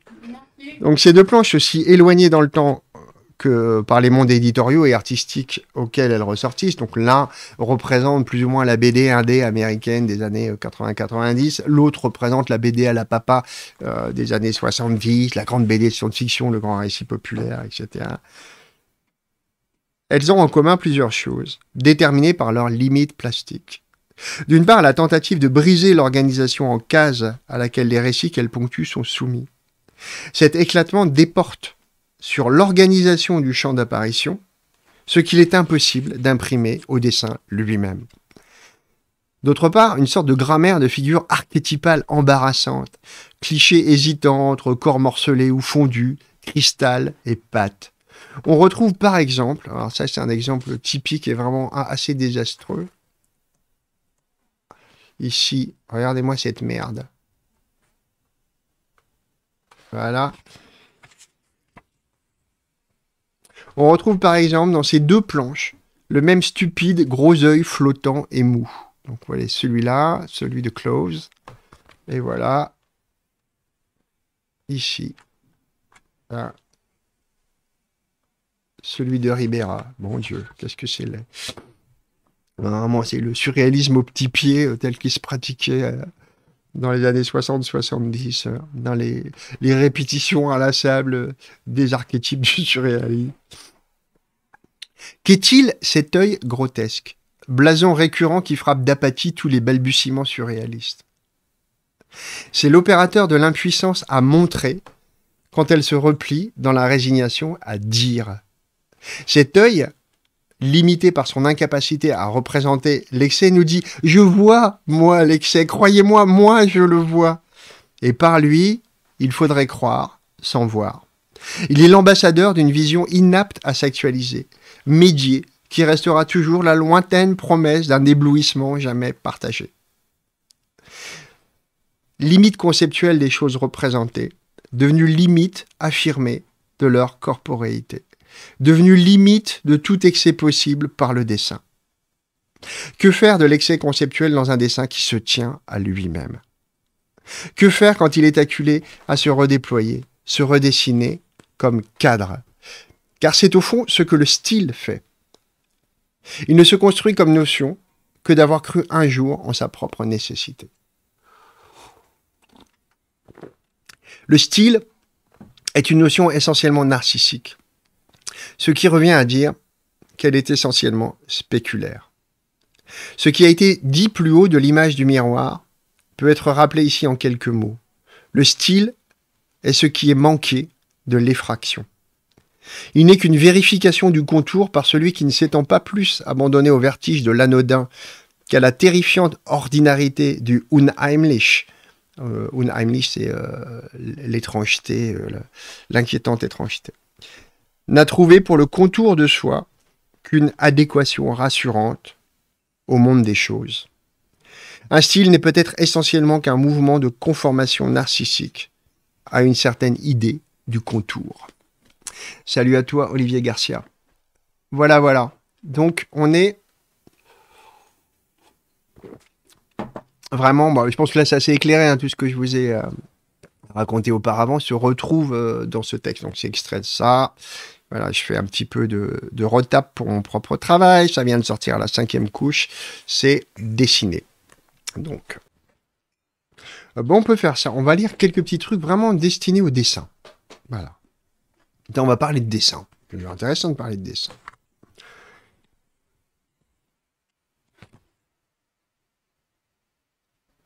Allons-y. Toute œuvre, au sens de la production tout entière, plutôt que celui de la collection d'expériences qui la compose, porte partout sa préhistoire intime. Elle ne demande qu'à refaire surface dans des opérations de grattage, en insistant sur le papier. Chez les plus timides des artistes, elle reste à ciel ouvert, à peine déplacée dans ses incarnations, tout au long de l'existence. Qu'est-elle cette œuvre? Sinon l'attente d'être achevée, par la mort du sujet, pour qu'un regard panoptique puisse être posé sur elle et sa temporalité désordonnée C'est une question qu'on pose rarement, alors qu'en fait, elle est assez. Enfin, elle devrait être posée dès le début. Quand on parle de l'œuvre d'un artiste, la plupart du temps, on questionne assez peu ou assez mal la généalogie souterraine qui ont fait apparaître des occurrences, des œuvres dans l'œuvre. Alors que c'est assez fondamental. On a pris l'habitude de parler euh, des, œuvres de tel ou tel artiste en omettant complètement de les inscrire dans cette lente maturation. Et euh, ça nous fait porter un regard général une fois qu'il est mort sur cette chose qu'on appelle l'œuvre et que seule la mort sera venue sanctionner pour produire quelque chose qu'on pense comme une unité. Mais du point de vue de la production, cette unité, elle n'a pas vraiment de sens. Les artistes sont conscients, a priori, de ce qu'ils font dans l'exercice de leur durée propre, mais la cohabitation du travail avec la temporalité de l'atelier est une cohabitation pleine du sujet avec chacune de ses concrétions et toutes celles qui précèdent, voire même des fois avec une certaine anticipation de ce qu'elle devrait être. Mais on va s'en tenir juste à ça. Le temps de l'atelier, c'est un temps complexe. On va dire qu'il y a le temps implicite à, au travail en cours, hein, qui se satisfait, en quelque sorte, d'être pris dans l'exercice de sa durée transformante, transformante parce que le fait de faire change ce que l'on fait, mais à chaque fois nourrit des expériences précédentes en relation avec elles, mais dans une relation qui est vraiment plurivoque. C'est pas une relation linéaire. Quand on regarde le travail d'un artiste avec vraiment attention, on se rend compte que la belle idée linéaire qu'on s'en fait est très vite mise à mal par des choses qui viennent choquer cette petite construction. Des retours arrière, des marottes qui avaient disparu et qui reviennent. Et ça, c'est vrai jusque dans les œuvres des peintres les plus classiques. D'un seul coup, on voit rejaillir chez euh, Raphaël un pérugénisme qui avait disparu, puis va le réabandonner. De la même manière, il y a du toujours présent dans le travail plastique ou dans le travail artistique en général, des expériences qui ont déjà été faites et qui sont tellement constitutives du sujet qu'elles continuent à travailler de façon souterraine dans ce qui est en train de se faire. Or nous, spectateurs, spectatrices, ce que nous regardons, ça n'est pas l'exercice de cette durée. Ce que nous regardons, c'est en quelque sorte des traces testimoniales, donc qui portent témoignage du travail effectué après. Nous ne savons pas ce qu'elles contiennent du point de vue de l'expérience de la durée de l'atelier. Nous pensons tout simplement, parce que c'est comme ça que nous avons l'habitude de traiter les objets, que les œuvres sont le produit d'un projet. Quelque chose qu'il fallait faire sous telle ou telle forme. En oubliant d'une part toute la difficulté qu'il y a à penser avec finesse la question de l'intentionnalité. Bon là, je vous renvoie directement à la longue série des lives euh, sur les formes de l'intention de Max Sandal, qui sont très éclairantes à ce sujet. Mais en oubliant aussi que les hiérarchies des valeurs que nous constituons, nous la constituons à l'aune d'une extériorité relative, c'est-à-dire de l'œuvre d'un artiste prise dans son temps, dans son époque, avec les autres artistes, qui sont des points d'appui de notre lecture théorique ou de notre lecture tout simplement euh, d'amateur d'art, hein, mais qui n'ont pas une valeur centrale nécessairement au moment de la production de tel ou tel dessin, de telle ou telle bande dessinée, euh, de tel ou tel tableau, pour celui ou celle qui est en train de le faire. Ce qui travaille de façon sous-jacente, c'est un crépitement continu d'une activité qui jamais n'a cessé de se faire à travers le fil continu de l'exercice d'un travail artistique. Et ça, ça n'est pas une, suite, c'est pas un collier de perles qu'on enfile euh, comme ça, euh, perle après perle, pour constituer euh, une, forme logique, rationnelle et continue. C'est un tissu diffus de questionnements qui sont maintenus dans un état d'inachèvement continu, et là encore que seule la mort viendra sanctionner d'une façon ou d'une autre. Et nous, tout ce que nous voyons, c'est cette après la mort. C'est après la terminaison euh, soit de la vie de l'artiste, mais au moins d'une certaine séquence dont nous n'observons que les effets matériels. Qu'est-elle cette œuvre? Sinon, on l'attend d'être achevée par la mort du sujet, pour qu'un regard panoptique, donc un regard général, hein, puisse être posé sur elle. On fondera sur cette autopsie l'espoir d'y trouver enfin sa cohérence, à l'instant précis où meurt celui qui en détenait, d'une manière ou d'une autre, les clés. Toute œuvre observée et aimée par nous implique comme une nécessité cette perte irréparable pour s'articuler librement à toutes les autres œuvres, pour être enfin rendue disponible à un agencement historique. La détermination finale, par la forme, ne peut être conçue, qu'il s'agisse de l'œuvre entière ou de l'une de ses prises de corps, l'un des, moments de son existence par lesquels elle deviendra telle ou telle œuvre, ce qu'on va appeler une œuvre dans l'œuvre, hein, que comme un battement de temps, une pulsation locale, placée hiérarchiquement au-dessus de tous les autres par une erreur entretenue d'appréciation culturelle. Cette dernière pulsation, pourtant, cette portion inexprimable de l'action prise dans le flux ininterrompu de l'atelier, nous n'avons aucune raison de la rendre supérieure à toutes les autres dans le processus de travail, sous le prétexte qu'elle le clôt. Elle n'a pas plus de poids ni de sens que chaque autre pulsation, depuis le moment précis où le travail est commencé.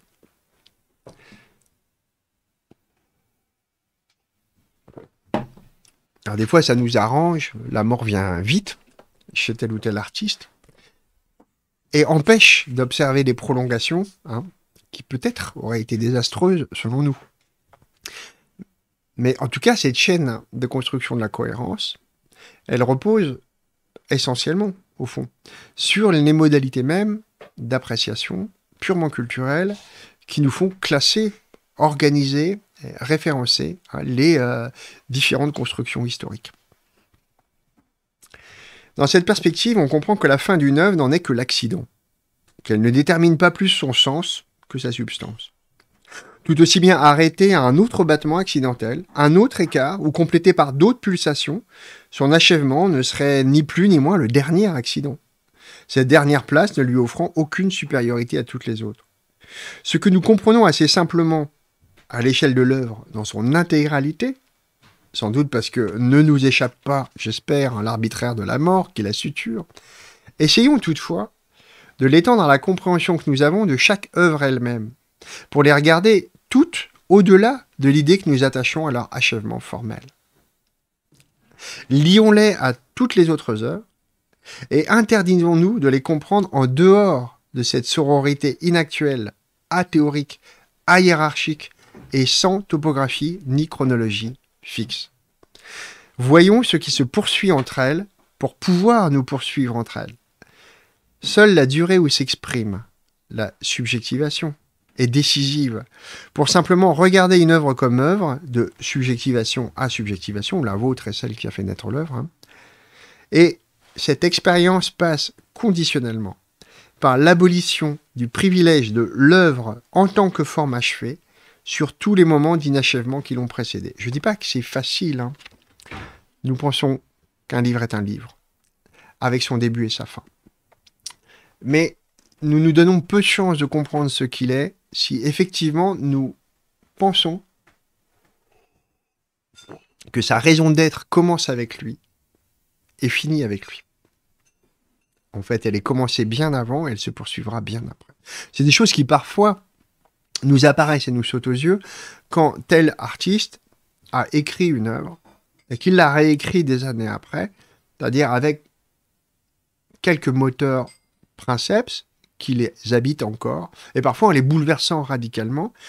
Et là, on voit qu'un mouvement continu, souterrain, sous-jacent, de toute une vie, des fois séparé par des dizaines et dizaines d'années. Je pense par exemple à la première éducation sentimentale de Flaubert, qui est très peu lue, euh, à l'éducation sentimentale telle que nous la connaissons, qu'ont finalement, semble-t-il, peu de choses en commun. Et pourtant, il a gardé ce titre, il a gardé quelques-unes des obsessions qui traversent ses livres, et c'est à travers ce mouvement continu qui est séparé par la rédaction d'autres livres que nous pouvons comprendre généralement le mouvement ample qui constitue l'œuvre de Flaubert. cette manie que nous avons, par exemple, de, découper, euh, souvent on regarde tout simplement de notre satisfaction, de ce que l'on attend de tel ou tel artiste, et ce qui va rassurer notre hiérarchisation euh, à la fois des intentions et des représentations, euh, favorablement parce qu'on a pris plus de plaisir à lire, je sais pas, moi, Bouvard et Pécuchet que Salambo, ce qui est mon cas, et une obstination probablement involontaire, mais en tout cas à ne pas voir ce qui travaille inlassablement entre ces œuvres elles-mêmes et qui nécessiterait, pour un peu plus d'intelligence de ce que c'est que le travail artistique, que nous acceptions de les regarder tout ensemble avec ce qui, d'une manière ou d'une autre, les fait travailler l'une avec l'autre ou l'une contre l'autre. Parce que les artistes eux-mêmes travaillent contre travail préalable parfois, contre des idées euh, qui leur semblent à un certain moment de leur vie euh, mal exploitées, euh, mal achevées, mal traînées, ou au contraire, comment, qui résonnent de façon si forte que elles sont conditionnelles à ce continu de l'activité que j'appelle moi l'atelier, mais qui est extensible largement au-delà hein, de ce lieu physique qu'est l'atelier. Et ça nous rendrait peut-être un peu plus fin euh, devant l'approche des euh, œuvres d'art en général. Il reste souvent de la préhistoire d'une œuvre d'authentiques vestiges. Premier dessin d'enfant, pris ou non déjà dans le dessin. Esquisse préparatoire, jets inachevés qui ont survécu au débarras progressif, etc. Qu'on ne se leurre pas trop sur le sens à attribuer à ces vestiges, ni sur les promesses puériles de l'analyse génétique. Ce qu'ils auront vraiment imprimé comme cours à leur descendance est invisible. Ou plutôt, ce qui est visible est insignifiant. De ce que les œuvres deviennent dans les autres œuvres, rien ne peut être ni anticipé ni conclu. Ce qu'on aura cru retrouver de leur forme et qu'on aura pris pour une motivation n'est qu'une suite de symptômes superficiels des mouvements beaucoup plus profonds.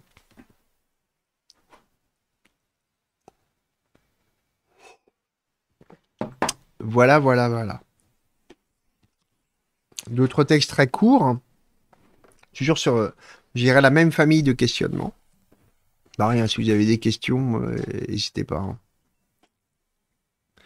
Représentation. C'est assez court. La représentation est un luxe dont le dessin peut se passer. Prenons-la pour ce qu'elle est. Le négoce autoritaire d'une collection de bijoux dont la vie esthétique, la longévité, est motivée par l'assignation historique qui les a constitués un jour en valeur et par l'injonction à tenir cette valeur devant tout changement d'économie. Ce qui revient à augmenter et justifier cette longévité comme valeur elle-même en tant que coutume par laquelle l'âge de la valeur fonde la valeur. Libre à quiconque de se décharger du poids de ses pacotilles. Lorsque la représentation s'aligne au dessin, qu'elle le fasse au moins par nécessité et non par convention. Comprendre les formes prises dans un mode de représentation, c'est toujours d'une représentation faire le socle ou l'optique d'une autre représentation. Les rapports de vérité sont pris en cause dans celle-ci. Et il est impossible de s'extraire d'un tel paradigme pour prétendre les surplomber par quelque chose qui serait la représentation.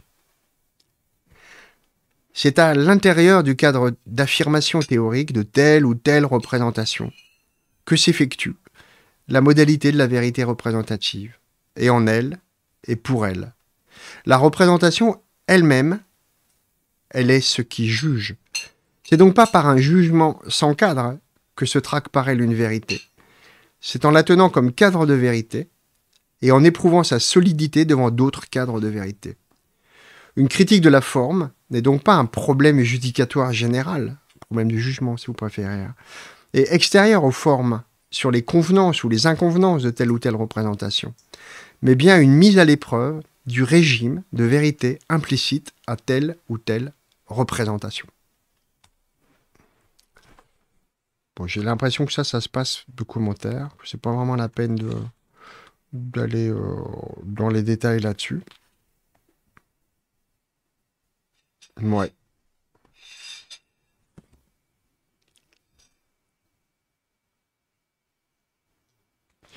Allez, un petit dernier. Monde des choses. C'est très court. Le dessin, comme le poème, est une opération d'ancrage. C'est par lui que son auteur se lie au monde des choses, par lui qu'il attache son propre corps à la présence matérielle du monde.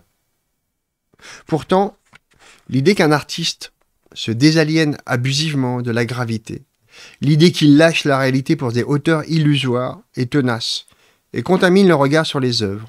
On les verrait, dit-on, flotter. Et ça, je pense que tout ça repose aussi sur la question de la représentation. C'est-à-dire que l'idée générale qu'on se fait de la représentation, c'est une idée qui est fausse d'objet. Il y a un objet de la représentation, et il y a entre l'artiste et l'objet de la représentation une distance qui serait comblée par la représentation elle-même d'une façon individuelle et conventionnelle à la fois, mais qui serait toujours gardée comme écart. C'est-à-dire, on pose sur la question de la représentation l'idée que sujet et objet sont profondément séparés. Et ceci repose beaucoup sur l'idée que ce que fait la représentation, c'est de prendre en charge un objet qui aurait une existence réelle dans le monde des choses, en dehors de celui qui s'y frotte, et que une certaine distance ramènerait l'objet vers soi avec des pratiques qui ne viendraient que de soi. Et s'il ne s'agissait pas du tout de ça? si le dessin n'était pas une opération de la distance, mais au contraire, une opération d'accaparement et de lien avec la totalité des objets du monde.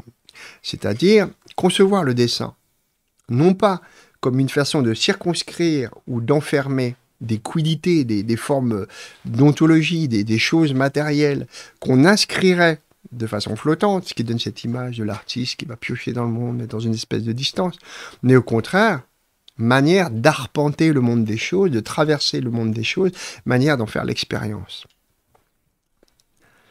Qui pense et regarde le dessin ou le poème comme forme du détachement, évanescence, perte de pied, dans la très haute autorité introuvable de la réalité, est au mieux un ego, au pire un manipulateur, dont le souci est probablement d'imposer sa loi tenace, sa fatalité économique, qui est prise pour pragmatisme, et sa hiérarchie aux opérations sublunaires, aux opérations qui se passent dans le monde des choses, des vraies choses. Qu'on dit, ceux qui font les, vraies choses, les artistes sont pas dans les vraies choses, ils sont pas vraiment dans le monde.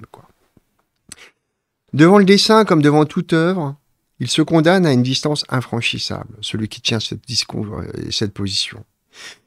Il se tiendra hors de ce qui s'y trame vraiment, spectateur, ce qui se trame vraiment dans le dessin, hein, spectateur impuissant à parcourir les sillages qui font le nœud de l'expérience du monde dans son arpentage, telle qu'elle se maille par le dessin. Ça veut dire que d'une manière ou d'une autre, pour conclure là-dessus, quand vous regardez un dessin, il est bon de ne pas le regarder comme forme, mais comme sillage pris dans la durée. Apprenez à regarder un dessin en vous détachant du cadre de référence qui est juste le cadre de convention, ça c'est le chapitre qui était juste avant hein, de la représentation, et qui au fond est subalterne à quelque chose de beaucoup plus puissant, qui travaille le dessin comme réalité expérientielle du monde. Apprenez à suivre du regard les mouvements qui le constituent. Détachez votre regard du fait que cette chose que vous regardez renvoie à une chose qui existe dans le monde des choses et apprenez à suivre du regard les sillages matériels par lesquels il s'effectue. Laissez de côté un instant tout ce à quoi il se réfère et regardez avec plus de précision et plus d'attention le plan dans lequel il s'inscrit comme matérialisation à la fois du corps et du désir de celui qui dessine.